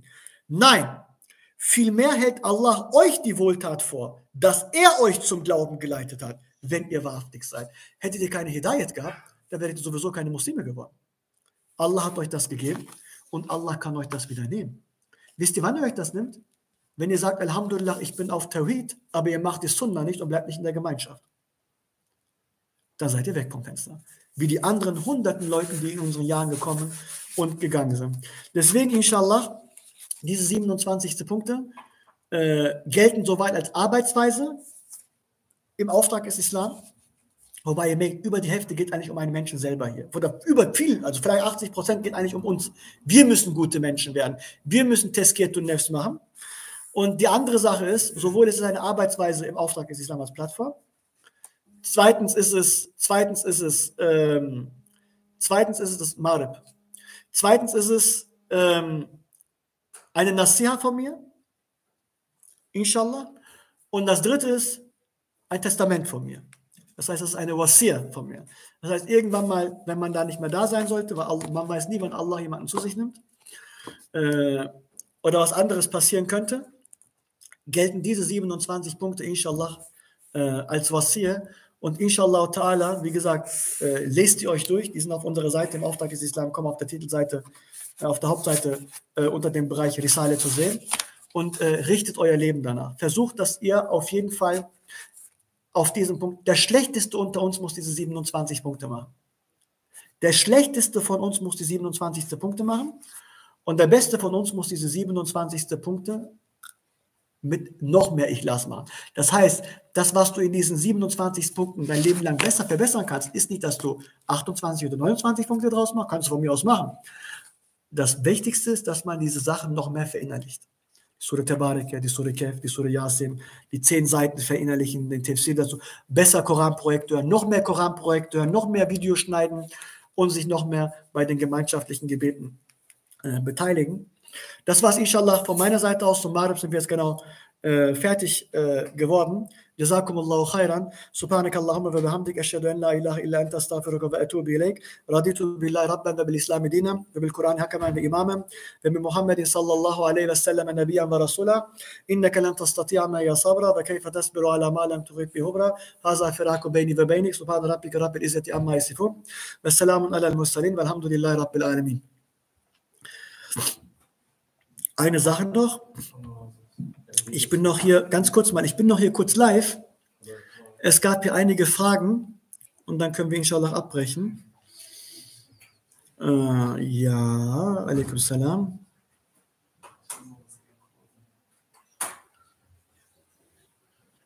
Ja, einer fragt zum Beispiel, oder eine, eine, eine Muslima fragt hier, was macht man, wenn man keine Gemeinschaft hat, die auf Tawhid ist? Alles dafür tun, dass man eine Gemeinschaft findet, die auf Tawhid ist.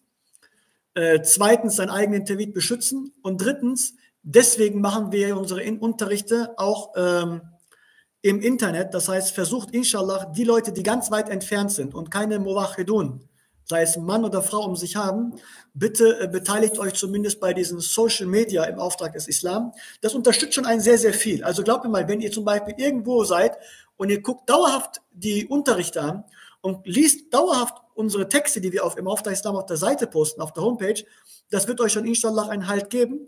Das sollte aber kein dauerhafter äh, Zustand sein. Versucht inshallah zu verkünden, wenn, ihr, wenn du zum Beispiel ein, ein, ein Mädchen bist, versucht zum Beispiel eine andere Schwester mit zum Islam zu bekommen. Da seid ihr schon mal zwei, weil die Aufgabe ist ja bei den 27 Punkten auch den Islam weiter zu verkünden. Das heißt nicht sagen, ich bin jetzt alleine in Bursa oder in Ankara oder in Aswan oder was weiß ich wo, Einfach ein zweiter Mann oder eine zweite Frau mit dazu suchen und äh, so vielleicht die Gemeinschaft letztendlich vereinen, ähm, wo man zum Beispiel die Gebete Gemeinschaft machen äh, kann und auch muss.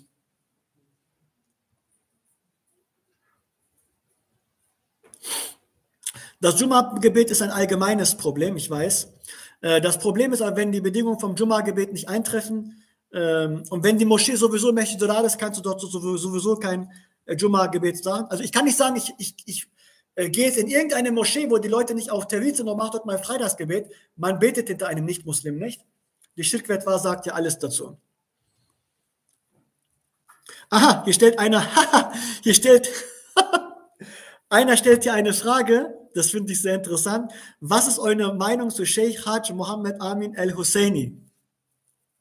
Also, ähm, vielleicht nochmal, äh, also wenn du gehen willst zur Arbeit, kannst du richtig machen. Namaz hemen 10 dakika 5 dakika kılarız yani. Äh, Emin el-Husseini äh, ist ein islamischer Mufti gewesen aus Jerusalem. Der hat sich damals äh, mit Adolf Hitler getroffen, äh, Emin el-Husseini. Und äh, ihr wisst, die Nazis, die haben ja auch sehr viele islamische Rekruten gehabt, Söldner gehabt, die Armee namens Hanjak, Entschuldigung, Hanjer, bosnische äh, Söldner haben sie gehabt. Also Söldner sind so wie Poroschenko. Kennt ihr Poroschenko? Der jetzt ermordet worden ist. Äh, Piroschenko. Prigoschenko, genau. Piroschenko, genau. Das ist zum Beispiel ein Söldner. bezahlte Soldaten. Und äh, die Nazis, die haben auch be bezahlte Soldaten gehabt. Äh, das waren die Söldner gewesen, bosnische, muslimische Soldaten. Und ähm, auch viel haben sie das gehabt. Das ist ein Thema für sich. Ich weiß nicht, ob das Rechtssystem hier in Deutschland erlaubt, überhaupt äh, tiefgründig über sowas zu berichten. Aber eine Sache bloß. El Husseini war ein sehr interessanter Typ. Äh, der hat äh, den äh, Nazis nicht den äh, Antisemitismus beigebracht. Benjamin Netanyahu hat ja mal gesagt, Hitler war eigentlich kein Antizionist, ein, ein Antisemit gewesen. El Husseini, also der Mufti von Jerusalem, von Masjid al-Aqsa, der hat aus Hitler einen äh, Antisemiten gemacht. Das ist natürlich eine Lüge. Aber Husseini wollte quasi die äh, zionistische, zionistische Siedlungspolitik beenden und hat diesbezüglich auch ein bisschen mit den Nazis kooperiert. Äh, die zionistische Siedlungspolitik begann ja letztendlich mit Theodor Herzl Anfang des 20. Jahrhunderts. Aber eine Sache, äh, was wichtig ist, äh, Emin el-Husseini hat ähm, einen sehr großen Schaden zugefügt. Also ich kenne mich jetzt nicht mit dem Mann ganz genau aus. Wenn ich jetzt komme und rede über seine guten Sachen, dann würde man das falsch verstehen nach deutschem Recht. Deswegen möchte ich über eine schlechte Tat berichten, was El-Husseini gemacht hat. Wobei ich mich nicht über diesen Mann hundertprozentig informiert, aber das weiß ich.